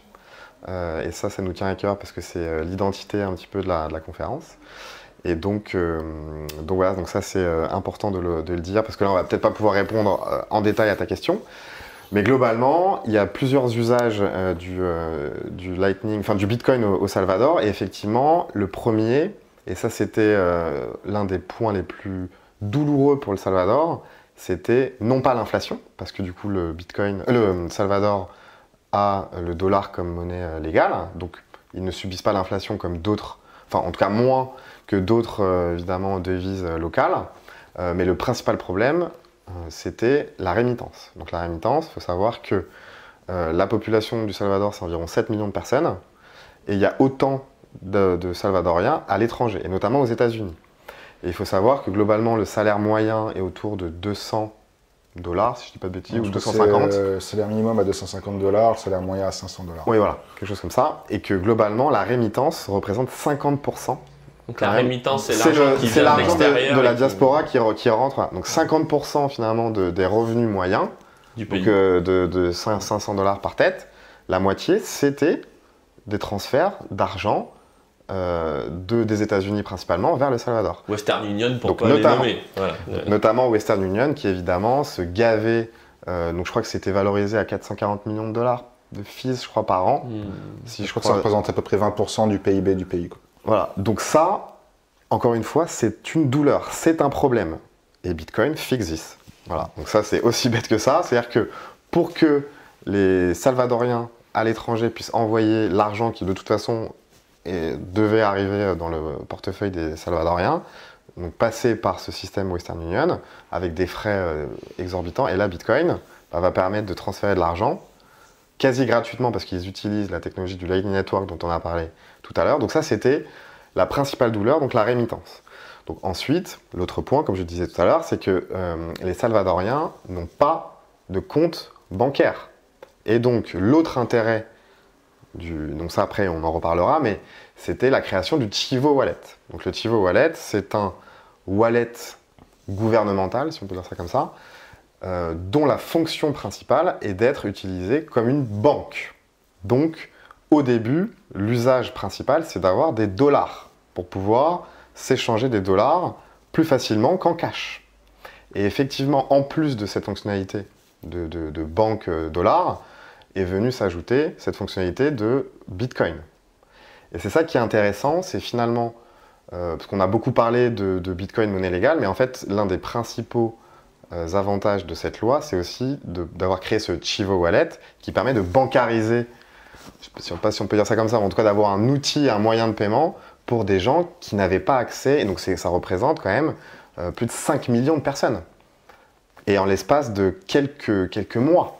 Donc pour moi, c'est une prouesse extraordinaire euh, en aussi peu de temps euh, d'avoir pu équiper une population qui n'avait jusque-là pas accès euh, à un moyen de paiement autre que, autre que le cash. Alors sur le moyen de paiement, on peut considérer, moi je le fais parce que j'ai un copain qui est en France et il a sa famille au Congo. Et du coup, pour envoyer de l'argent à, sa famille, c'est très pratique. Mais du coup, ils ont des euros ici, on achète du bitcoin, on a le bitcoin, et puis en bas, ils ont de la, electronic money, c'est encore un truc en dollars spécifique, mais là, du coup, ça marche. Et avec Western Union, en gros, c'était de 100 dollars, il en, enfin de 100 euros, il arrivait 80 dollars à peu près. Et avec Bitcoin, il en part 100 et il en arrive 103, 104. Parce que il, y a un marché local, tout est interdit au Congo, et du coup ils achètent les bitcoins plus chers quand ils viennent de l'étranger pour pouvoir après se les, passer. Donc ça, on voit bien, la rémittance, ça marche super, enfin ça marche vraiment, c'est tip top. Par contre, en compte d'épargne, le problème c'est que euh, tu achètes du bitcoin à 100. Ensuite, euh, tu épargnes, il passe à 200, tu es content. Et puis après, il passe à 50. Là, bon, tu te dis, je vais attendre. Ta fille se marie ou tu casses la voiture ou le frigo change. t'es obligé. Tu vois, ça c'est la vie d'un mec qui a pas 3 ans de trésorerie devant Non. lui. Après, ouais, je, Ouais. je pense que là, il y a plein de réponses à ça. Donc, Mais tu vois, je t'en prie. je veux dire, quand, tu, euh, quand tu te fais prendre par la volatilité et que t'as pas 3 ans d'épargne devant toi, est-ce que c'est est -ce c'est viable Surtout au Salvador, les gars, ils roulent pas sur l'or? Alors, pe- peut-être juste petite avant que tu répondes, c'est qu'en fait, globalement, en fait, ce qu'il faut savoir, c'est que les gens n'ont pas cette problématique d'épargne. En fait, le Salvador, c'est quand même un pays très pauvre, et donc eux, ils sont plus dans une logique de survie que d'épargne. Alors, Déjà de base. et donc, et donc, si tu veux, eux, lorsqu'ils ont ce moyen de paiement, bah, en général, ils le dépensent très rapidement. Donc, ils ne l'épargnent pas. Donc, ce que tu dis là, finalement, Oui, le but, n'est c'est pas un bon use case. Le but, c'est bien de leur permettre d'avoir une épargne aussi. Pas du tout. Non, non, pas du tout. Pas du C'est tout. de faciliter, C'est de faciliter les, paiements, ce que je viens de te dire, c'est d'avoir un, d'être bancarisé. C'est pas de d'épargner, pas du tout. La cible, de- enfin le, le peuple salvadorien n'a pas vocation à épargner. Je crois que c'est. Enfin, pas les moyens. Enfin, pas les moyens, voilà. que- en tout cas, euh, euh, après j'ai plus les chiffres en tête, mais, mais c'est, En ce c'est- moment, c'est la proportion d'épargnants au Salvador. Je crois que c'est une des plus faibles au monde. Donc, euh, donc la Ouais, problématique, que elle pas 8%, du tout là. 8%, 8% Elle est pas du des- tout là, de, la preuve. de Salvadoriens qui, qui peuvent épargner et qui épargnent. Voilà. Donc, et en fait, euh, le, le- le gros point du Chivo Wallet, 8% des Ouais. gens qui épargnent. c'est pas comparé en France, c'est vraiment très peu. Euh, et donc, du coup, le, le point du Chivo Wallet, c'est que tu as une balance en, en dollars et une balance en bitcoin sans avoir besoin d'ouvrir un compte en banque. Et coup, donc ils ont un stablecoin quoi. En fait, en fait c'est après, pas ça, ça, c'est pas vraiment, c'est pas, bah, ils ont, ils ont, c'est pas un stablecoin, ils ont des dollars Ouais, voilà, c'est un numériques, des euh, dollars digitales, donc ça permet justement le Chivo Wallet d'avoir accès aux paiements digitaux, chose que tu peux pas faire en cash. Hmm. Et en fait, donc du coup, derrière, il y a tout un système où le gouvernement garantit la conversion euh, Bitcoin-dollar. Comment ça? Bah, est-ce qu'ils ont tout un, tout un système, donc ils ont tout un fonds qui permet ça. Donc en fait, il y a beaucoup de personnes qui utilisent le Chivo Wallet simplement pour recevoir des paiements en Bitcoin, mais qui sont convertis directement en dollars. Ouais. Donc en fait, les gens ils touchent du dollar.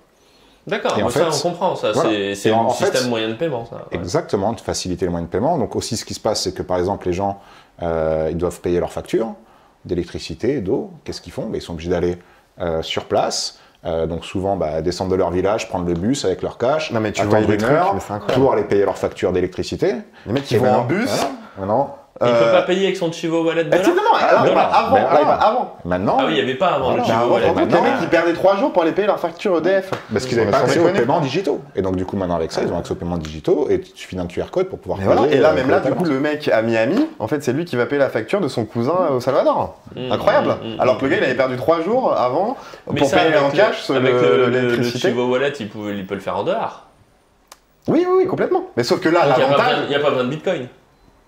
C'est-à-dire comment ça Non mais c'est-à-dire que là c'est encore mieux, c'est-à-dire que le, le- le- là dans mon exemple c'était le cousin du Salvador peut payer la facture de son cousin au, euh, Mm, comment mm, dire mm. non le, le cousin à Miami peut payer L'oncle américain. l'oncle voilà peut payer directement la facture du, du- du cousin euh, euh, au Salvador. Enfin ça c'est juste génial. Alors que le gars avant il se déplaçait en Mm. bus pour aller payer c'est euh, je sais pas 50 dollars d'électricité par mois. Et la Après- grosse différence, c'est que le, le Chivo Wallet dollar, nous, on n'y a pas accès. Non, parce Alors qu'en fait, que en nous, fait, on peut t'as les- envoyer les- des bitcoins t'as- sur un Chivo Wallet T'as bitcoin. un espèce d'écosystème de dollars qui, qui fonctionne dans le Chivo Wallet. Donc t'as les- tu peux t'échanger des dollars en Chivo, mais tu peux pas le sortir avec, tu peux pas, euh, Sortir du pays.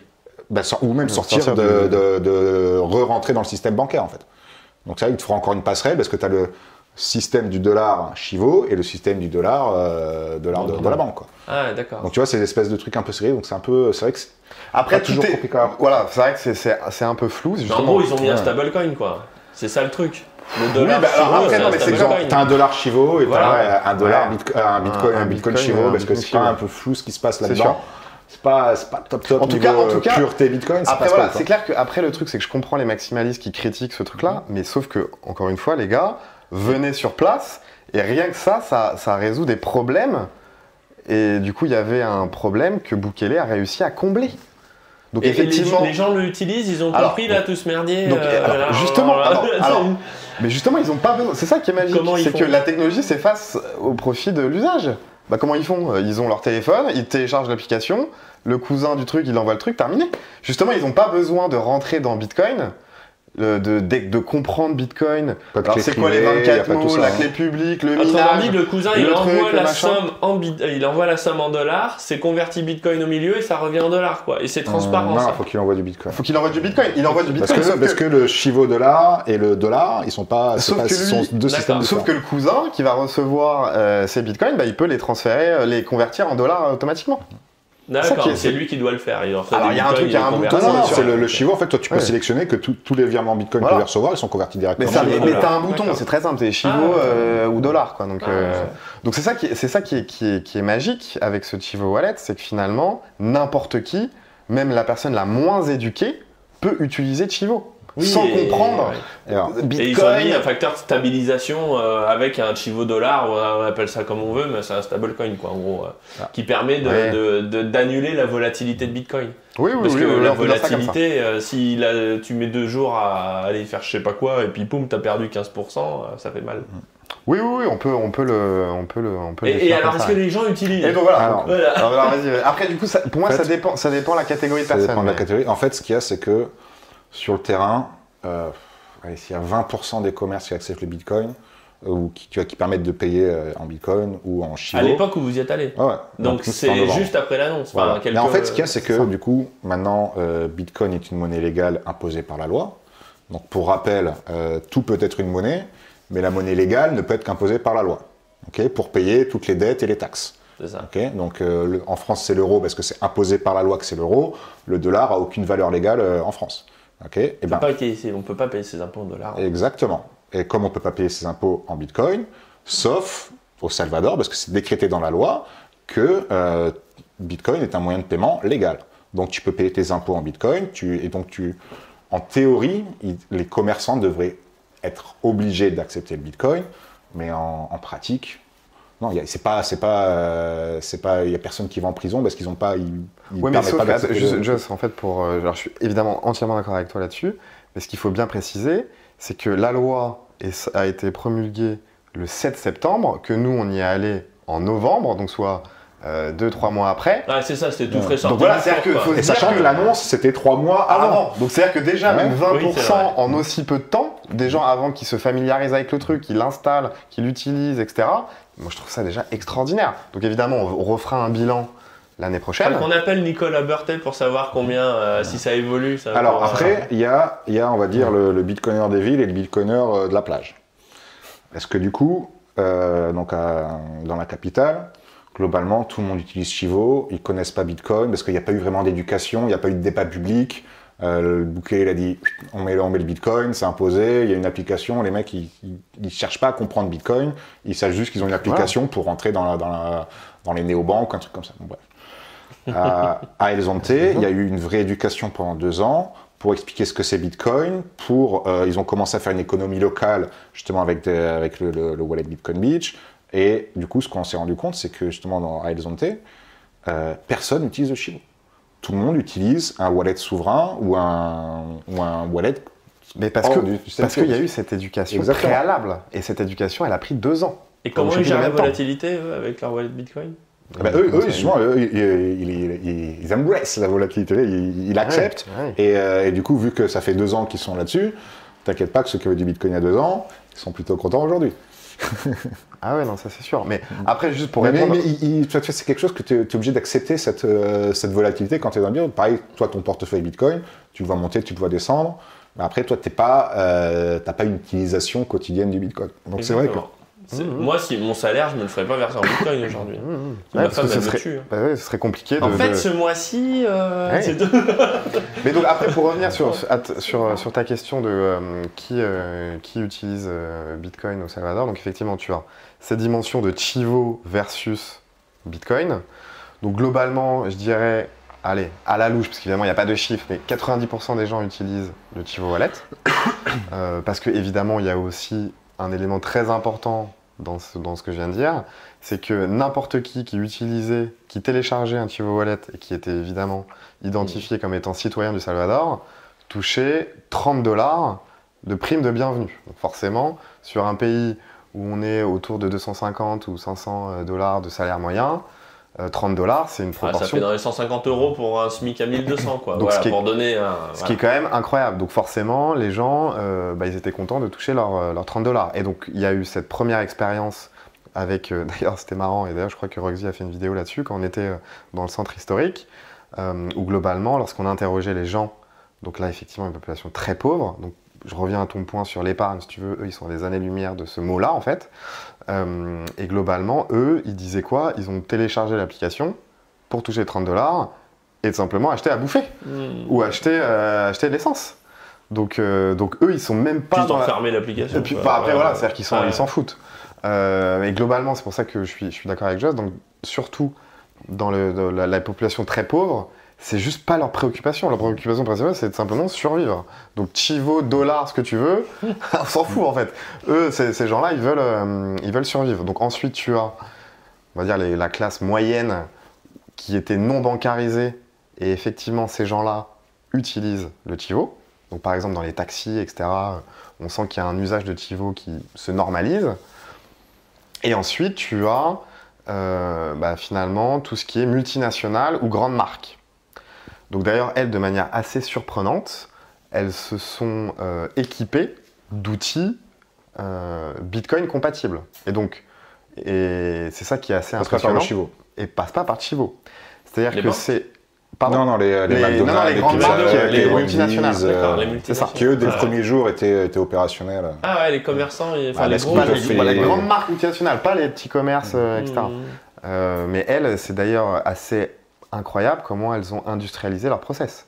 Donc, On voyait. Sébastien acheter un, un McDo là avec Ah bah, Yorick, euh, ouais, bah, bien sûr, c'est- juste dingue. Donc en gros, les multinationales, alors après on n'a pas fait tous les McDo du Salvador, mais j'imagine Oui, qu'ils ont généralisé euh, les, les- les point of sales.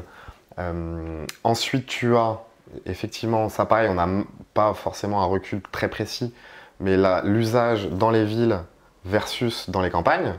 Or, elles ont été. Je pense que dans les campagnes, parce que globalement, l'autre problème majeur, c'est euh, la, comment dire, le taux de, de couverture d'Internet, où en fait, finalement, il n'y a que 51% des gens qui ont un accès à Internet. Donc, après, encore une fois, on n'est pas allé dans la pampa euh, au fin fond du Salvador, parce que, pas oublier que le Salvador reste un pays très dangereux. Et nous, on nous, nous recommandait pas, on, on- on ne nous recommandait pas, pardon, euh, de s'aventurer en plein milieu de la pampa euh, pour. Ouais, euh, C'était très voilà. Bref, donc en fait, finalement, aller- nous, Salut, je suis un bitcoin, un bitcoiner. Et puis on a quand même des bonnes Voilà, de gringo peut- quand même. hein, En tout cas, ce qu'on peut, ce qu'on peut supposer, et ça c'est un chiffre public, c'est que voilà, 51% euh, Ouais. voilà, ont Internet. Donc finalement, dans les campagnes, tu peux te douter que c'est pas là où il y a une meilleure connexion euh, 4G euh, au Salvador. Donc voilà, du coup, ça, ces usages-là, je pense qu'ils vont évidemment se normaliser dans le temps. Le président a annoncé qu'il allait, investir énormément dans le justement euh, dans l'équipement Internet des, des- comment dire, des- de la campagne. Euh, ensuite, tu as évidemment, comme Just l'a dit, Elzonte, où là, euh, c'est le Disneyland du Bitcoin, quoi. Enfin, c'est incroyable. Enfin, franchement, euh, tu peux faire, tu peux vivre toute une journée rien que rien Bitcoin. qu'avec Bitcoin, quoi. Donc, donc, on, pour répondre à ta question, Bitcoin est utilisé. Il répond à des vrais problèmes qu'on a cités euh, tout à l'heure. Effectivement, aujourd'hui, majoritairement, les gens utilisent le Tivo Wallet pour les raisons qu'on a évoquées.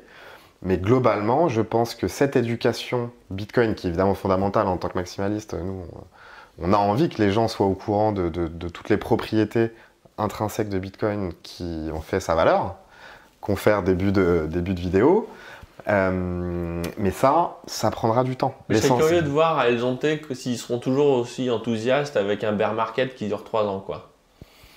Alors, Parce que là, la, volatil- après, la volatilité ouais. dans ce sens-là, c'est vachement moins rigolo. Ouais, ouais.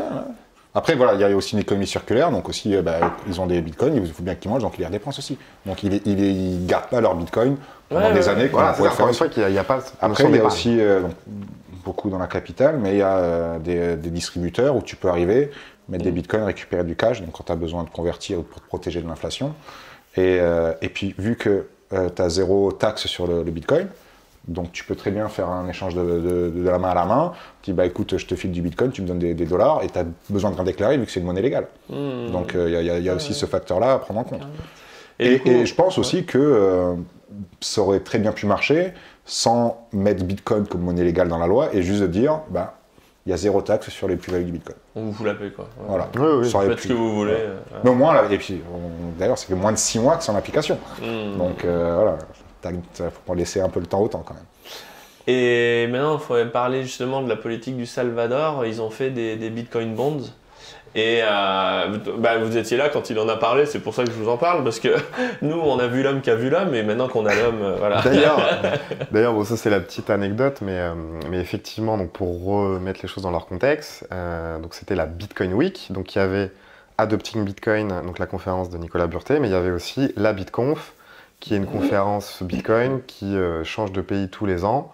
Et comme par hasard cette année, euh, en Amérique latine, et comme par hasard cette année, évidemment, parce qu'ils savaient qu'il y avait Adopting Bitcoin, ils ont décidé de faire la BitConf aussi à San Salvador en même temps. À, Bref, trois- à 300 mètres de. à de 300 là où mètres de. Mais bref. Et donc, euh, le Bukele, donc le président, euh, du coup, d'un point de vue marketing, a appelé ça la Bitcoin Week. Et euh, quelques jours avant euh, notre départ, eh ben, il a organisé une sorte de closing party. Euh, où en fait euh, il y avait C'est beaucoup quoi de mystères. Bah, c'est une, une soirée, de clôture, clôture. pardon, une soirée de clôture de, de la Bitcoin Week.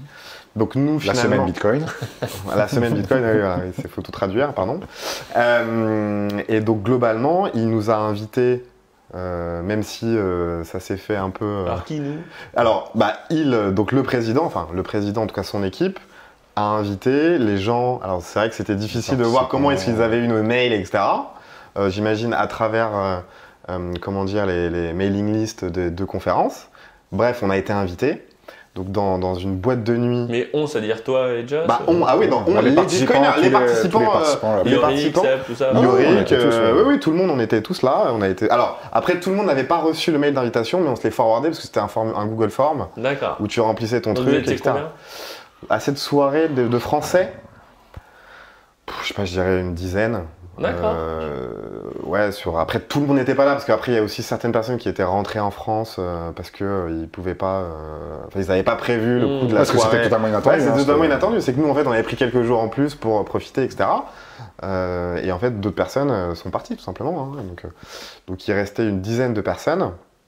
Et là, on a été invités dans une boîte de nuit, mais incroyable. En bord de plage. En bord de plage, il faisait en plus un temps magnifique. Euh, franchement, cette soirée, elle a dû coûter au moins 300K. euh, Ouais, tellement, et en plus, c'était donc open bar. En fait, ils voulaient vraiment en mettre plein la vue aux, étrangers. Parce que donc, il y avait effectivement euh, les bitcoiners français, mais il y avait surtout des délégations de bitcoiners de- du monde entier. Et l'idée, c'était de marquer un grand coup marketing devant les bitcoiners. Et puis surtout, avoir. Il, une- il avait une annonce importante à faire. voilà, surtout, et puis il avait aussi, ouais, nous c'est pas juste pour nous, mais c'était aussi voilà pour, mais pour montrer quand même qu'il y avait euh, de, de l'engouement aussi euh, sur place, et évidemment avoir cette euh, cette notoriété euh, bah, mondiale sur l'annonce qu'il allait. Venons-en, Et donc C'est là où il y avait la scène avec Voilà. la soucoupe volante. et donc, volcan, exactement, euh, donc justement, et là en fait, ça c'est la petite anecdote, mais euh, donc, le, donc déjà il a traîné avant de, de commencer son discours, donc c'était c'était prévu à 20h, et je crois qu'il a commencé à 22h30, hein, mais bon, bref. Donc la, la- son intervention a duré 30 minutes, et moi en fait je suis resté 30 minutes avec le bras. le bras vidéo vous pouvez pour- retrouver, et d'ailleurs, la sur la vidéo, chaîne sur Facebook. euh, où en gros on a diffusé l'intégralité de, euh, de, de son intervention. Et donc globalement les Bitcoin Bonds, et après je vais te laisser la parole Joss, euh, c'est un moyen de financer un énorme projet immobilier qui est la Bitcoin City. Voilà, donc j'ai donné le cadre, maintenant Joss, je te laisse peut-être euh, détailler. Donc, euh, lui, c'est ce qu'il appelle, c'est son Alexandrie, donc c'est son gros projet pharaonique. Donc, son idée, c'est, euh, donc eux, ils ont beaucoup de volcans endormis. Donc, le concept, c'est justement donc, de lever de l'argent hors des marchés financiers, donc ces fameux Bitcoin bonds, pour financer la construction de centrales électriques géothermiques, l'installation de mineurs et globalement commencer l'infrastructure euh, de, la, de la Bitcoin City, donc une grosse ville Bitcoin où euh, il y a zéro taxe sur rien et la- les seules taxes c'est 10% de TVA, dont la moitié euh, sert à faire fonctionner la ville et l'autre moitié à rembourser ces fameux Bitcoin bonds. Donc comment ça fonctionne ces Bitcoin bonds? Donc ils veulent lever un milliard 2 dollars. de dollars, euh, prendre euh, la moitié, donc 500 millions, pour acheter des bitcoins et euh, le reste pour financer euh, donc, du coup, le- toutes les infrastructures. Et au final, donc, les détenteurs de ce, de ce, de ce bond, de- dans cette obligation euh, d'État, au bout de 5 ans, ils vont reverser la moitié des bitcoins euh, qu'ils ont achetés aux, aux détenteurs des bitcoins, plus euh, 6 points- 6,5% donc 25 d'intérêt annuel libellé en dollars. voilà. Et en fait, le bonus dont vient de parler Joss, même si c'est objectivement pas très clair sur comment en fait va être attribuée cette récompense en Bitcoin, parce que finalement il y a eu assez peu de communication là-dessus. D'ailleurs, euh, ils ont annoncé qu'en février, Ça devrait arriver prochainement. ouais. euh, en février 2022, euh, bah, c'était le lancement des Bitcoin Bonds, donc ça va pas tarder. Donc on en saura beaucoup plus sur ce, sur ce point-là. D'ailleurs, en fonction de ce qui va être annoncé, potentiellement Stackinsat pourrait, donc je parle au conditionnel, pourrait être un, un distributeur euh, de, euh, des Bitcoin Bonds du, euh, du Salvador. Mais globalement, effectivement, au bout de 5 ans, ce qui, a été dit à l'oral, donc je vous invite encore une fois à regarder euh, la vidéo euh, de l'intervention de Bukele, c'est qu'au au bout de 5 ans, la plus-value pourrait être... re- Donc si évidemment le Bitcoin s'apprécie, euh, la plus-value qui aura été générée par ces 500 millions d'achats pourrait être redistribuée aux détenteurs de cette obligation d'État, en plus des 6,5% de coupons euh, annuels qui rend en fait le produit encore plus attractif. Et comment c'est possible ça de reverser en. euh, Bah, comment ça se passe? Bah, En gros, les mecs Alors, ils vont faire une donc, plus-value. là, Il y, y a une petite astuce technique Ah, quand même. ouais, ouais. Donc c'est que donc du coup ils ne passent pas par les marchés financiers Ah euh, ouais. traditionnels pour euh, lever une obligation d'État. Euh, ils vont passer par euh, il me semble c'est Bitfinex, donc il va euh, être garant de récupérer les, les euros ou les bitcoins pour euh, donner un, un, Un token. ti- un token. Donc ce qui va se Ça va passer. être un token, c'est Voilà, ça exactement. une- Donc c'est plus- euh, plutôt qu'un euh, broker qui va garder ton obligation, ça va être un token qui va représenter une obligation. et Je crois Sur que 100 blockchain euros le token? sur euh, Liquid, qui est une Liquid, sidechain. Donc c'est de Bitcoin qui est une sidechain de Bitcoin où, euh, grosso modo, c'est pour, pour, euh, c'est vraiment, ça pourrait être n'importe quelle euh, blockchain de smart contract, c'est juste un token qui représente euh, un band de 200 euros. Mais ça aurait été bizarre de le faire sur Polygon quoi. Oui, enfin, c'est juste que l'idée, c'est que tu as, Bah, un bon porteur. Donc, l'idée de, ton- Ouais. de ton token, c'est que tu as un bon porteur qu'après tu peux échanger. Mais euh, là c'est sur Liquid donc ça reste sur Bitcoin Liquid. quoi. Exactement. Enfin, c'est pas vraiment Bitcoin, mais c'est euh, Oui, euh, Bitcoin compatible, donc c'est Blockstream qui Bitcoin gère ce friendly. truc-là. Exactement. Exactement. Et, euh, et du coup, en fait, aussi, cette particularité, c'est que euh, si par exemple, tu achètes pour euh, 100 000 euros euh, de cette obligation, au bout de 5 ans, tu as la nationalité euh, salvadorienne. D'accord. Voilà, donc ça Mais, c'est un mais surtout, ça veut dire que les tokens ils sont traçables, puisqu'après il va falloir verser le. Exactement. Donc en fait, c'est le détenteur du, du, euh, du truc. Bon, Alors, c'est sûrement, ils vont sûrement euh, verser des dividendes, peut-être sur la, sur des tokens, sur la, sur Liquid, que tu pourras ensuite redeem. Donc ça, c'est, ça, c'est encore Ça c'est le genre de flou. détail où on sait pas. hein. Donc, on un- attend- on attend justement que vraiment c'est les spécificités. ça. Ah bah, Exactement. Mais c'est en fait, non, le, mais le même gros, techniquement, il y a un côté smart Exactement. contract sur Bitcoin. Mais quoi. le gros, Enfin, avec le gros intérêt. Le gros intérêt, c'est qu'ils passent pas par le, par le Fonds monétaire international, ils passent pas par les marchés financiers, ils peuvent euh, annoncer quel pourcentage ils veulent sans être dépendants d'une ins- d'une institution Ouais, qui va leur faire une cotation quelconque. Et Donc toi, ils prennent en main et- vraiment leur, leur, euh, leur dette. Et, et vous, là, en termes, euh, en, qualité de stack INSAT, euh, réglementairement parlant, vous avez le droit de distribuer des bonds Bah, d'État Alors, le truc, bah, le truc, c'est que ça va être un token. Donc nous, euh, on pas- n'est pas sur le marché primaire, donc on va être sur le marché secondaire. On pourrait très bien récupérer des tokens liquides et euh, n'importe qui est possesseur de ce token liquide peut, est virtuellement possesseur de ce banc. Mais Donc en vrai, non, mais par rapport, par rapport à ta question, qui est évidemment parfaitement légitime, honnêtement, aujourd'hui, je n'en sais rien. Euh, après, moi, je me dis que s'il va y avoir une demande, Mm. moi, en tant qu'entrepreneur, je me dis, euh, est-ce que je, je trouve un intérêt à proposer ça à mes clients? Évidemment qu'il y aura une due deal, enfin, une expertise juridique réalisée par nos avocats d'Orwell, que je salue, euh, pour voir la compatibilité finalement de ce nouveau produit dans la législation française en tant que, en tant que PSAN que nous sommes aujourd'hui. Donc évidemment qu'il y aura des investigations qui seront faites en ce sens, si jamais c'est possible. Mais en tout cas, nous, on a notre volonté, de, parce qu'on trouve ça extraordinaire et c'est une révolution financière. C'est-à-dire que là, de bypasser les marchés traditionnels obligataires, c'est juste incroyable. Enfin, franchement, c'est pour c'est l'innovation de, de la décennie euh, après Bitcoin, évidemment. Bah, ce qui est assez Euh, extraordinaire, c'est qu'en faisant ça, il fait de Bitfinex un prime, euh, un prime broker, prime dealer d'obligations euh, d'obligations d'État. Et là, euh, je pense que euh, ça doit en vexer plus d'un. Enfin, ça, ça doit. Alors après, c'est vrai que ça sert. Est-ce qu'il y aura une exclusivité derrière dans la. A priori, oui. Après A ça, c'est priori, vrai que c'est encore une fois, on n'a pas de détails, mais, euh, mais effectivement, je pense que euh, les tokens devraient être listés sur beaucoup d'exchanges. J'espère. Bon, après, là, Et, euh, on, on part, euh, on rêve, etc. Mais euh, avec 500 millions de dollars, alors déjà, la question, c'est comment est-ce qu'ils vont conserver les bitcoins pendant 5 ans euh, Voilà, c'est une question. Bah, comment sont conservés les bitcoins aujourd'hui? Où sont les bitcoins du Chivo? Ça, c'est plein, de- plein de zones Voilà. d'ombre qu'on n'a pas de réponse pour Et l'instant. puis l'autre chose, c'est est-ce que 500 millions de dollars, ça suffit pour faire une ville? Alors, Ah non, attends, attends, là- alors, attends, déjà, juste, en fait, tu oublies une question majeure, mon cher Richard. C'est comment ils seront achetés? Avec quelle stratégie Est-ce Ah oui, qu'ils vont oui, faire oui. un parpaing de 500 millions le jour Où est-ce qu'ils vont vendre l'émission de Bitcoin Exactement. Donc nous, Il ferait sûrement mieux de le faire en DC. voilà, donc effectivement, ça c'est. euh, Tu leur euh, tu as donné ta carte pour dire nous si vous voulez Voilà. on peut DCA, il n'y a pas de problème, 500 millions on sait faire. Donc après, euh, lorsqu'on était sur place, on a discuté avec certaines personnes, parce que moi c'était la question qui m'obsédait, et effectivement, il y avait cette stratégie de lissage, donc de DCA, et de stratégie de buy the fucking dip. Donc je pense que ce sera un compromis euh, entre les deux, et mais surtout, après la grosse question à poser, c'est sur quelle période de temps? C'est est-ce qu'ils se donnent 6 mois pour acheter les 500 millions? Est-ce qu'ils vont faire ça en un mois? Hmm. Enfin bref, ça du coup, c'est Ou sur 5 ans. ou sur 5, enfin euh, voilà, enfin c'est en tout cas ces 500 millions, quelle est la stratégie d'achat? Parce que 500 millions sur le marché, c'est quand même un putain de parpaing quoi. Après, là, c'est Donc, que de la euh, technicité. Quand ça, même. c'est de la technicité. technicité, mais ce qui est quand même important de, de rappeler, c'est que Bitcoin, déjà, c'est la souveraineté moné- monétaire individuelle. Ok Donc, tu es, souverain sur ta monnaie, ton propre argent. Et avec ça, vu, vu qu'au Salvador, ils n'ont pas de banque centrale, vu qu'ils dépendent de la Fed, là, ils reprennent une souveraineté monétaire sur leurs propres dettes, Hmm, hmm, hmm, hmm. sans avoir besoin de, de- Complètement. de rien demander qui, à majeur, personne. qui est majeur. Et ça, c'est juste incroyable. C'est Ouais, vraiment incroyable. Ah, Bon, juste sûr. pour ça, après la technicité, il y, aura sûrement des trucs un peu des zones d'ombre, on sait pas, on, a- on attend, tu vois, qu'il y ait quelque chose de plus, euh, plus concret. Mais pareil, quand, il y a eu la, quand la, la loi Bitcoin est sortie, euh, juste avant le 7 septembre, euh, on a interrogé des entrepreneurs. Deux jours avant, ils ne savaient pas comment ça va être, compli- qu'on- ça va être Alors techniquement comment ça s'est passé le jour comptabilisé et justement compagnie. où Bah, ils ont annoncé euh, c'est- Bitcoin euh, Alors comment Ah. quand ils ont annoncé ou quand ils ont mis en, quand ça- application? Non, quand ça s'est mis en application, que- comment vous l'avez vécu sur place en Ah bah disant on, bah, arrivé on après. a interviewé donc du coup Ah. des entrepreneurs et des, des personnalités qui nous ont dit, bah écoute, euh, deux jours avant, on n'avait aucune idée du, du truc, et donc ils ont quand même fait ça, tu vois. il y a- C'est niveau communication, ils sont pas, ils sont pas top quoi.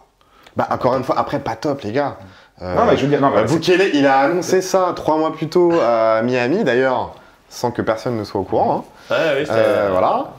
Euh, donc forcément, en l'espace de trois mois, je sais pas si vous vous rendez compte la révolution de de- de- d'équiper euh, donc la population d'un système de paiement en, les- en aussi peu de temps. Enfin, franchement, pour moi, je, je trouve que c'est l'innovation euh, presque euh, ever, quoi, extraordinaire.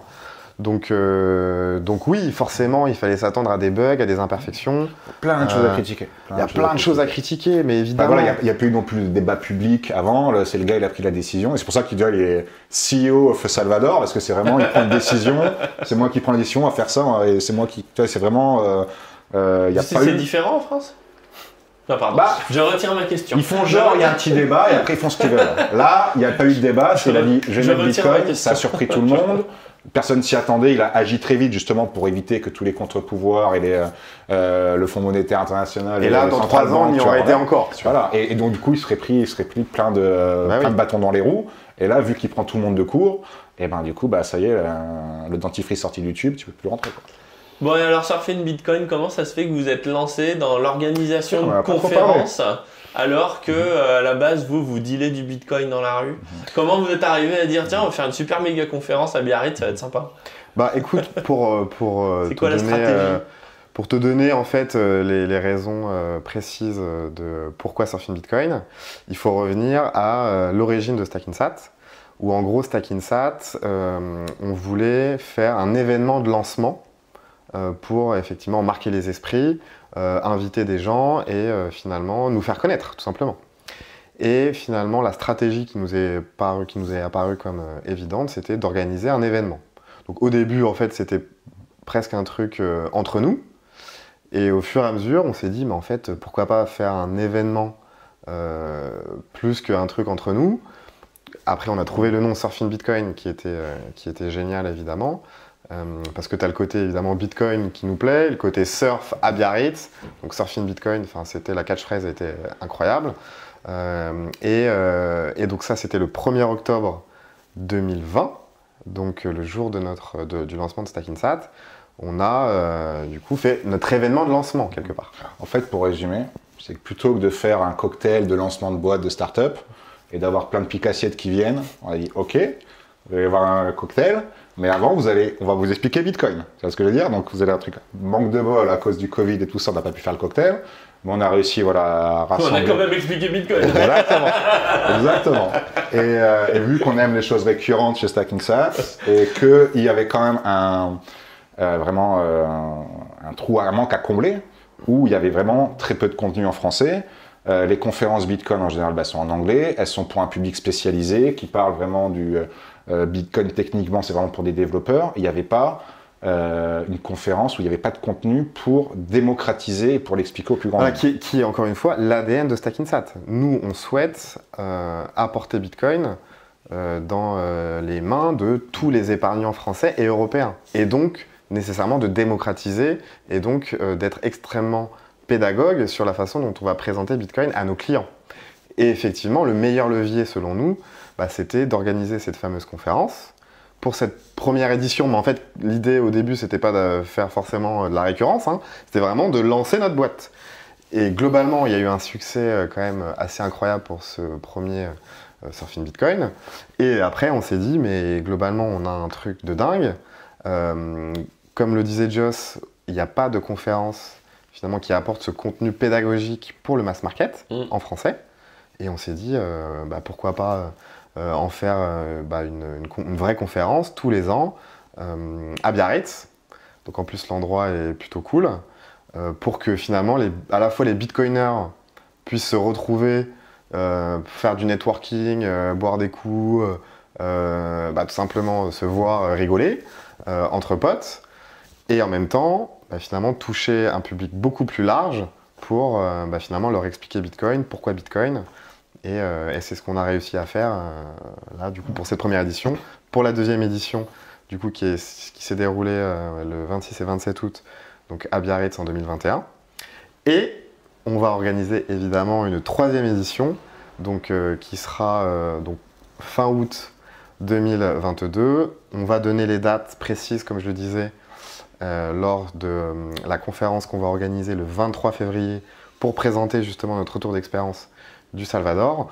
Mais pour répondre à ta question, euh, on n'avait pas du tout vocation à être euh, spécialiste de l'événementiel. Voilà, si tu veux, ce n'était pas du tout notre, euh, notre ambition au départ.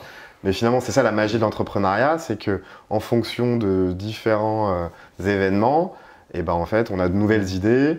et de là, on a arrivé à. Et surtout, il y avait, un, il y avait un besoin, il y avait une demande. et ce qui était vraiment très, tellement plaisant pour nous, c'est que tu vois, tout le monde s'est un peu réuni, des connexions sont créées et ça faisait un endroit qui fédérait un peu l'écosystème, chose qui manquait. Donc du coup, ça, permet aussi d'avoir un point de, point de rencontre, un chaining point pour euh, toute la scène Bitcoin française, on espère européenne et mondiale euh, d'ici quelques années. Et d'ailleurs, bah, merci beaucoup parce que moi à l'époque j'ai créé Grand Temps Crypto en juin, je crois. On avait peut-être commencé à discuter en mai parce que tous les deux, parce que j'avais déjà fait des vidéos. euh, je commençais sur la chaîne principale Bien sûr. et euh, bah, après Guillaume euh, euh, m'a rejoint euh, très vite derrière. Donc euh, et en fait l'idée à, Biarritz, c'est que nous on était enfermés dans la cave euh, pendant deux jours. Je suis monté pour faire ma conf euh, une heure et puis après je suis redescendu. Et, et on a interviewé tous les, les, les intervenants euh, qu'on, qu'on- dont, dont Ouais. nous as permis d'avoir accès. Et ça, ça a été, euh, je pense, un élément aussi important dans la réussite de Grand Temps Crypto. Parce que on n'avait pas, euh, allez, 4 mois, qu'on avait déjà euh, Pascal Gauthier, on avait euh, Yves Chefati, on avait bah, Gilles Cadignan, enfin on avait Nicolas Burté. Marc Zeller, Ouais. Nicolas Burtet, enfin je vais pas tous les citer parce qu'il y en a un camion, on a Mmh. fait que ça pendant deux jours. Mais du coup, bah voilà, séquence émotion, merci beaucoup parce que Bah écoute, On s'est bien trouvés, et c'est ça, voilà, qui est sympa, magnifique, quoi. je pense, dans l'univers du Bitcoin, c'est cette entraide naturelle. Euh, et si tu veux, nous, pas une fraction de seconde, on s'est dit, euh, alors est-ce qu'on va le faire? Est-ce qu'on lui propose finalement euh, bah, de nous payer pour ça ou quoi que ce soit? Enfin, Pour nous, il n'y avait même pas de débat, ça paraissait évident. Euh, et puis de toute façon aussi quelque part, bah, c'est aussi euh, une visibilité pour nous. Donc, euh, donc finalement, c'était de l'échange d'intérêts Et pour et, euh, l'écosystème. et pour l'écosystème. alors, petite, euh, petite ça a bien marché hein, d'ailleurs si on fait le cumul notre- des vues sur tout ce qu'on a tourné à Biarritz, ça doit. Ah bah c'est La clair. première édition, euh, tous les intervenants sont venus à leurs frais pour les transports, pour le logement. Enfin, voilà, il y avait Ça, vraiment merci, une euh, volonté, à euh, une vraie volonté tu vois, de se réunir et de, de parler de Bitcoin en français euh, pour le public français. Et euh, donc du coup, c'est quand même exceptionnel. Il n'y a aucune conférence, je pense, qui euh, Mm. autre hors du milieu Bitcoin, parce qu'on a tous euh, quelque part ben, un but commun. C'est ce que je veux dire. Et donc nous, on a essayé un peu de fédérer ça. Mais tout le monde, vraiment tout le monde, tous les intervenants et les participants ont vraiment mis beaucoup d'efforts là-dedans. Donc c'est pas vraiment, euh, c'est pris un peu de notre travail, mais c'est vraiment aussi un truc collectif. Et c'est ça, et puis c'est aussi une fierté personnelle de pouvoir euh, bah, euh, éduquer les gens, de pouvoir euh, bah, réunir les bitcoiners entre eux, de les voir sourire, de les voir rigoler, de se retrouver entre eux. Euh, c'est c'est très, euh, Il y a très Bitcoiner, mais pas que. Il y avait aussi Mark Zeller, il y avait aussi. euh, donc il Exactement. y, a, il y a une ouverture parce que. Après, Bitcoin, c'est la pierre angulaire de tout l'écosystème. Bah, euh, Bon. ce que nous, ce qu'on dit ici souvent, c'est que Bitcoin, c'est la réserve de valeur. C'est euh, le système de paiement. Il faut vraiment que ça prenne. Aujourd'hui, on- ça manque encore un peu de, de- de volume.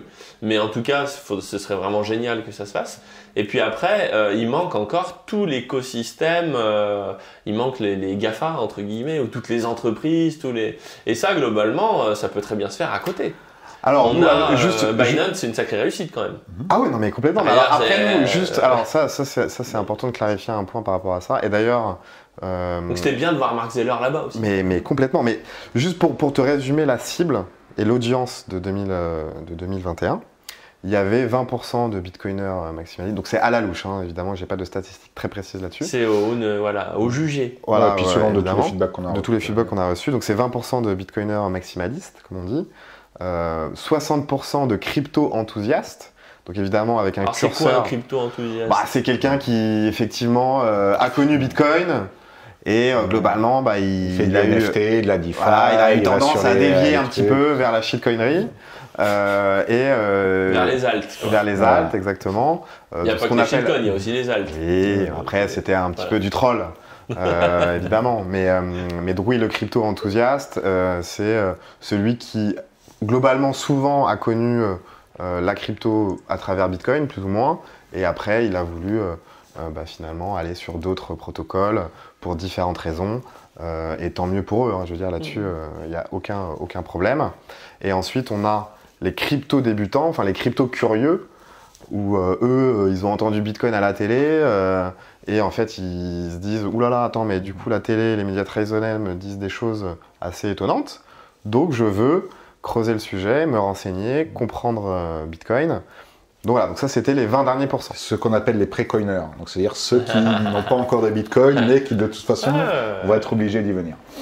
Et d'ailleurs, euh, on peut déjà dire que sur l'édition 2022, on va pouvoir adresser ces deux cibles. Et alors, je vais pas dire euh, encore une fois comment on va le faire parce C'est que deux cibles, c'est-à-dire. bah, les- c'est c'est deux cibles, donc la cible experte, euh, voilà, et la cible euh, débutante, etc. Donc, ce qui sont Ceux deux qui sont dans le cibles. game et ceux qui aimeraient bien l'être. Voilà. Sachant que nous, encore une fois, même si c'est cool de se retrouver entre nous avec les copains, mais la vocation de Surfing Bitcoin, c'est surtout d'aller chercher ceux qui ne sont pas encore dans cet univers. Mm, mm. Donc d'aller adresser la cible des débutants. Donc finalement, c'est un, un gros enjeu pour nous, une grosse difficulté, bah, de réunir deux cibles qui n'ont rien à voir ensemble euh, au même endroit pendant euh, trois jours. Donc voilà, donc là, euh, en tout cas, on a trouvé des solutions. D'ailleurs, c'est la raison principale de notre séjour à Paris. C'est commencer du coup à, à construire cette conférence avec euh, des partenaires euh, voilà, qui nous font confiance euh, cette année euh, pour produire voilà, un contenu à très forte valeur ajoutée avec une organisation qui va être incroyable. Euh, donc voilà, donc vous en saurez plus en tout cas un petit bout euh, lors du- de la conférence qu'on donne le 23 février à l'Estia. Et euh, après quelques semaines plus tard, on devrait annoncer euh, les principaux euh, intervenants euh, et euh, la billetterie surtout, pour que chacun d'entre vous puisse euh, bah, finalement euh, euh, bah, venir à Biarritz euh, cet été euh, et profiter de la plage. Alors, sachant que cette année, on a vraiment profé- profession- pro- professionnalisé euh, donc la conférence. On a montré une structure dédiée, on a embauché une personne dédiée euh, qui est une professionnelle de l'événementiel euh, depuis euh, plusieurs décennies. Euh, sachant que les premières éditions, la première on était tous les deux, Euh, la deuxième édition on était deux et demi, trois euh, pour organiser tout ça. Donc, euh, donc là c'est vraiment professionnel. Donc si vous avez aimé Surfing Bitcoin 2021, Euh, C'était juste l'échauffement. Euh, cette année, ça va. Ah, on en discutait tout à l'heure, il devrait y avoir du lourd. euh, Exactement. Pour l'instant, on garde encore ça euh, sous scellé et euh, on a hâte, on en on a hâte de reparlera. partager tout ça. euh, Et on en comme on disait, vous reviendrez et puis on parlera de ça plus. Et d'ailleurs, c'est la petite séquence émotion, mon cher Richard, où là, on est très heureux, toute l'équipe de Stack Insat, de t'offrir euh, cette édition de, euh, du El Salvador Diaro- Diario, pardon, qui est euh, du coup le journal euh, au Salvador. Et cet exemplaire qui est du coup du 7 septembre 2021, date bah, de l'entrée en vigueur de la Bitcoin Lay. Et, et pour te raconter un petit peu d'histoire sur, sur ce journal, donc qui coûte évidemment 25 centimes donc à l'achat, Deux dollars. et de 25 centimes de dollars, pardon. Et lorsqu'on est allé euh, donc avec, euh, avec les bitcoiners français au Salvador, donc notamment à El Zonte, euh, donc il y a évidemment un marché secondaire euh, parce qu'il y a des petits malins qui ont acheté tous les stocks d'invendus euh, de ce jour-là. Ah ouais, ils, pour ont, les ils ont revendre. tout vidé. euh, Ah ben voilà, donc ça y est. à Donc 10 là, en fait, il y en a une tout racheté. Il y en a une de quantité, collection. exactement. Donc il y en a une quantité limitée. Euh, donc ça devient un actif rare. Et, euh, et aujourd'hui, en fait, euh, Bitcoin, en aujourd'hui, en novembre 2021, cet exemplaire vaut 30 dollars. Voilà. Euh, c'est au prix auquel il vendait au Salvador, sachant que sur eBay, il se négocie beaucoup plus haut. Exactement. Si là vous allez sur eBay, vous allez voir un exemplaire propre comme celui-là, c'est au moins 80 euh, euros. Et Donc ça surperforme Bitcoin. Ouais, Cet exemplaire a surperformé Bitcoin. voilà. euh, Qu'est-ce qu'on peut dire de plus? Donc oui, effectivement, euh, ce, qui est, euh, ce qui est assez marrant, c'est euh, donc cette vidéo. Donc je sais pas si on la publiera un jour, mais en fait, il y a toute une négociation avec Yorick. Merci à, à toi Yorick pour négocier bah, le prix de ce Yorick qui parle parfaitement espagnol, ce qui n'est pas du tout notre cas hein, d'ailleurs. Pour négocier finalement un prix. Donc on en a acheté 21 exemplaires. Et globalement, je crois que ça faisait euh, l'équivalent de 20 dollars l'exemplaire. Et 20 euh, dollars l'exemplaire. Ouais, au lieu de 30 euh, prix affichés. Ah, ah oui. Voilà. Euh, globalement, pour vous décrire un petit peu ce cadre, parce que c'est un journal euh, qui euh, aura euh, malheureusement euh, euh, bah, la possibilité de, de perdre en qualité. Ouais, Donc ça c'est pour ça. avec le soleil. ça jaunit Voilà, le- ça jaunit évidemment ça- avec, le, avec le, le soleil. Donc là, en fait, ce verre est euh, totalement euh, protégé des UV à 99%. Donc rien que le, le verre coûte extrêmement cher, donc je ne dirai pas le prix. Euh, en tout cas, on est heureux de te l'offrir aujourd'hui. Ouais, et, euh, et on va euh, également proposer, alors un ou deux exemplaires, parce qu'encore une fois, on n'en a que 21, donc nous-mêmes, on aimerait les garder pour nous, mais on va certainement en, en proposer un ou deux en tirage au sort, donc aux, aux personnes qui viendront sur place à Biarritz. Donc rien que pour ça, vous pouvez déjà euh, vous dire que euh, il a- serait Ça intéressant d'acheter. de prendre euh, le ticket, ça peut rembourser le ticket. Exactement. Et, et plus. Et C'est- plus, L'an dernier, d'ailleurs, on avait fait une petite tombola, donc on avait donné des petits, euh, vu que c'était au casino de Biarritz, euh, dans tous les tote bags, chacun, chaque participant avait un petit jeton de casino, euh, Bitcoin, Surfit Bitcoin euh, numéroté euh, unique, et on avait fait un tirage au sort pour euh, gagner des ledgers avec notre partenaire euh, Ledger, et donc du coup on peut euh, peut-être réfléchir à quelque chose comme ça, on va voir comment on va faire euh, pour Bah, un tirage au Bah, sort. merci Donc, euh, beaucoup. En tout cas, c'est sympa comme cadeau, écoute, c'est- symboliquement, Ah oui, hein, bah, je, te le, je te le donne. Voilà, merci. euh, merci merci Attention, c'est plus précieux que le Bitcoin. Ah, là, faut vendre ses bitcoins pour en acheter. ah non, c'est chouette. Hop Vous le posez à plat, j'ai pas envie de le casser. c'est couillon. Ah oui, ça serait cool. Non, non, mais en tout cas, oui, pour, pour boucler sur, sur Surfing Bitcoin, c'est quelque chose qui nous tient à cœur, même si ça demande beaucoup de ressources euh, en énergie et en temps pour nous. Euh, mais on est très heureux de le faire. Et, euh, et ça a vocation vraiment à devenir presque. Alors après, on est très ambitieux chez Stackinsat, mais pourquoi pas, en fait, transformer la conférence un jour en un festival. euh, à Biarritz, euh, avec euh, des de concerts, des compétitions de surf, que ça devienne vraiment un événement culturel. Et on est très content euh, de, de cette conférence et euh, on espère que vous serez nombreux, nombreux euh, cette année pour l'édition euh, 2022. Eh ben, merci beaucoup et puis à très bientôt. On va se revoir pour parler de, de tout ce qui sort et notamment du futur de Stackinsat. On en a pas parlé parce qu'il y, a- il y a pas mal de choses qui sont en, C'est ça. qui sont qui sont Qui sont les tuyaux. voilà, qui arrivent. Donc du coup, euh, on en reparlera très bientôt. C'est ça. Jonathan, Joss, merci beaucoup. Merci. À bientôt. Merci Richard, à bientôt. Si vous aimez ces vidéos, abonnez-vous et pensez bien à cliquer sur la cloche pour être notifié des prochains épisodes. Et pour recevoir le guide crypto de A à Z, inscrivez-vous ici, on vous explique tout pour les débutants comme pour les confirmés.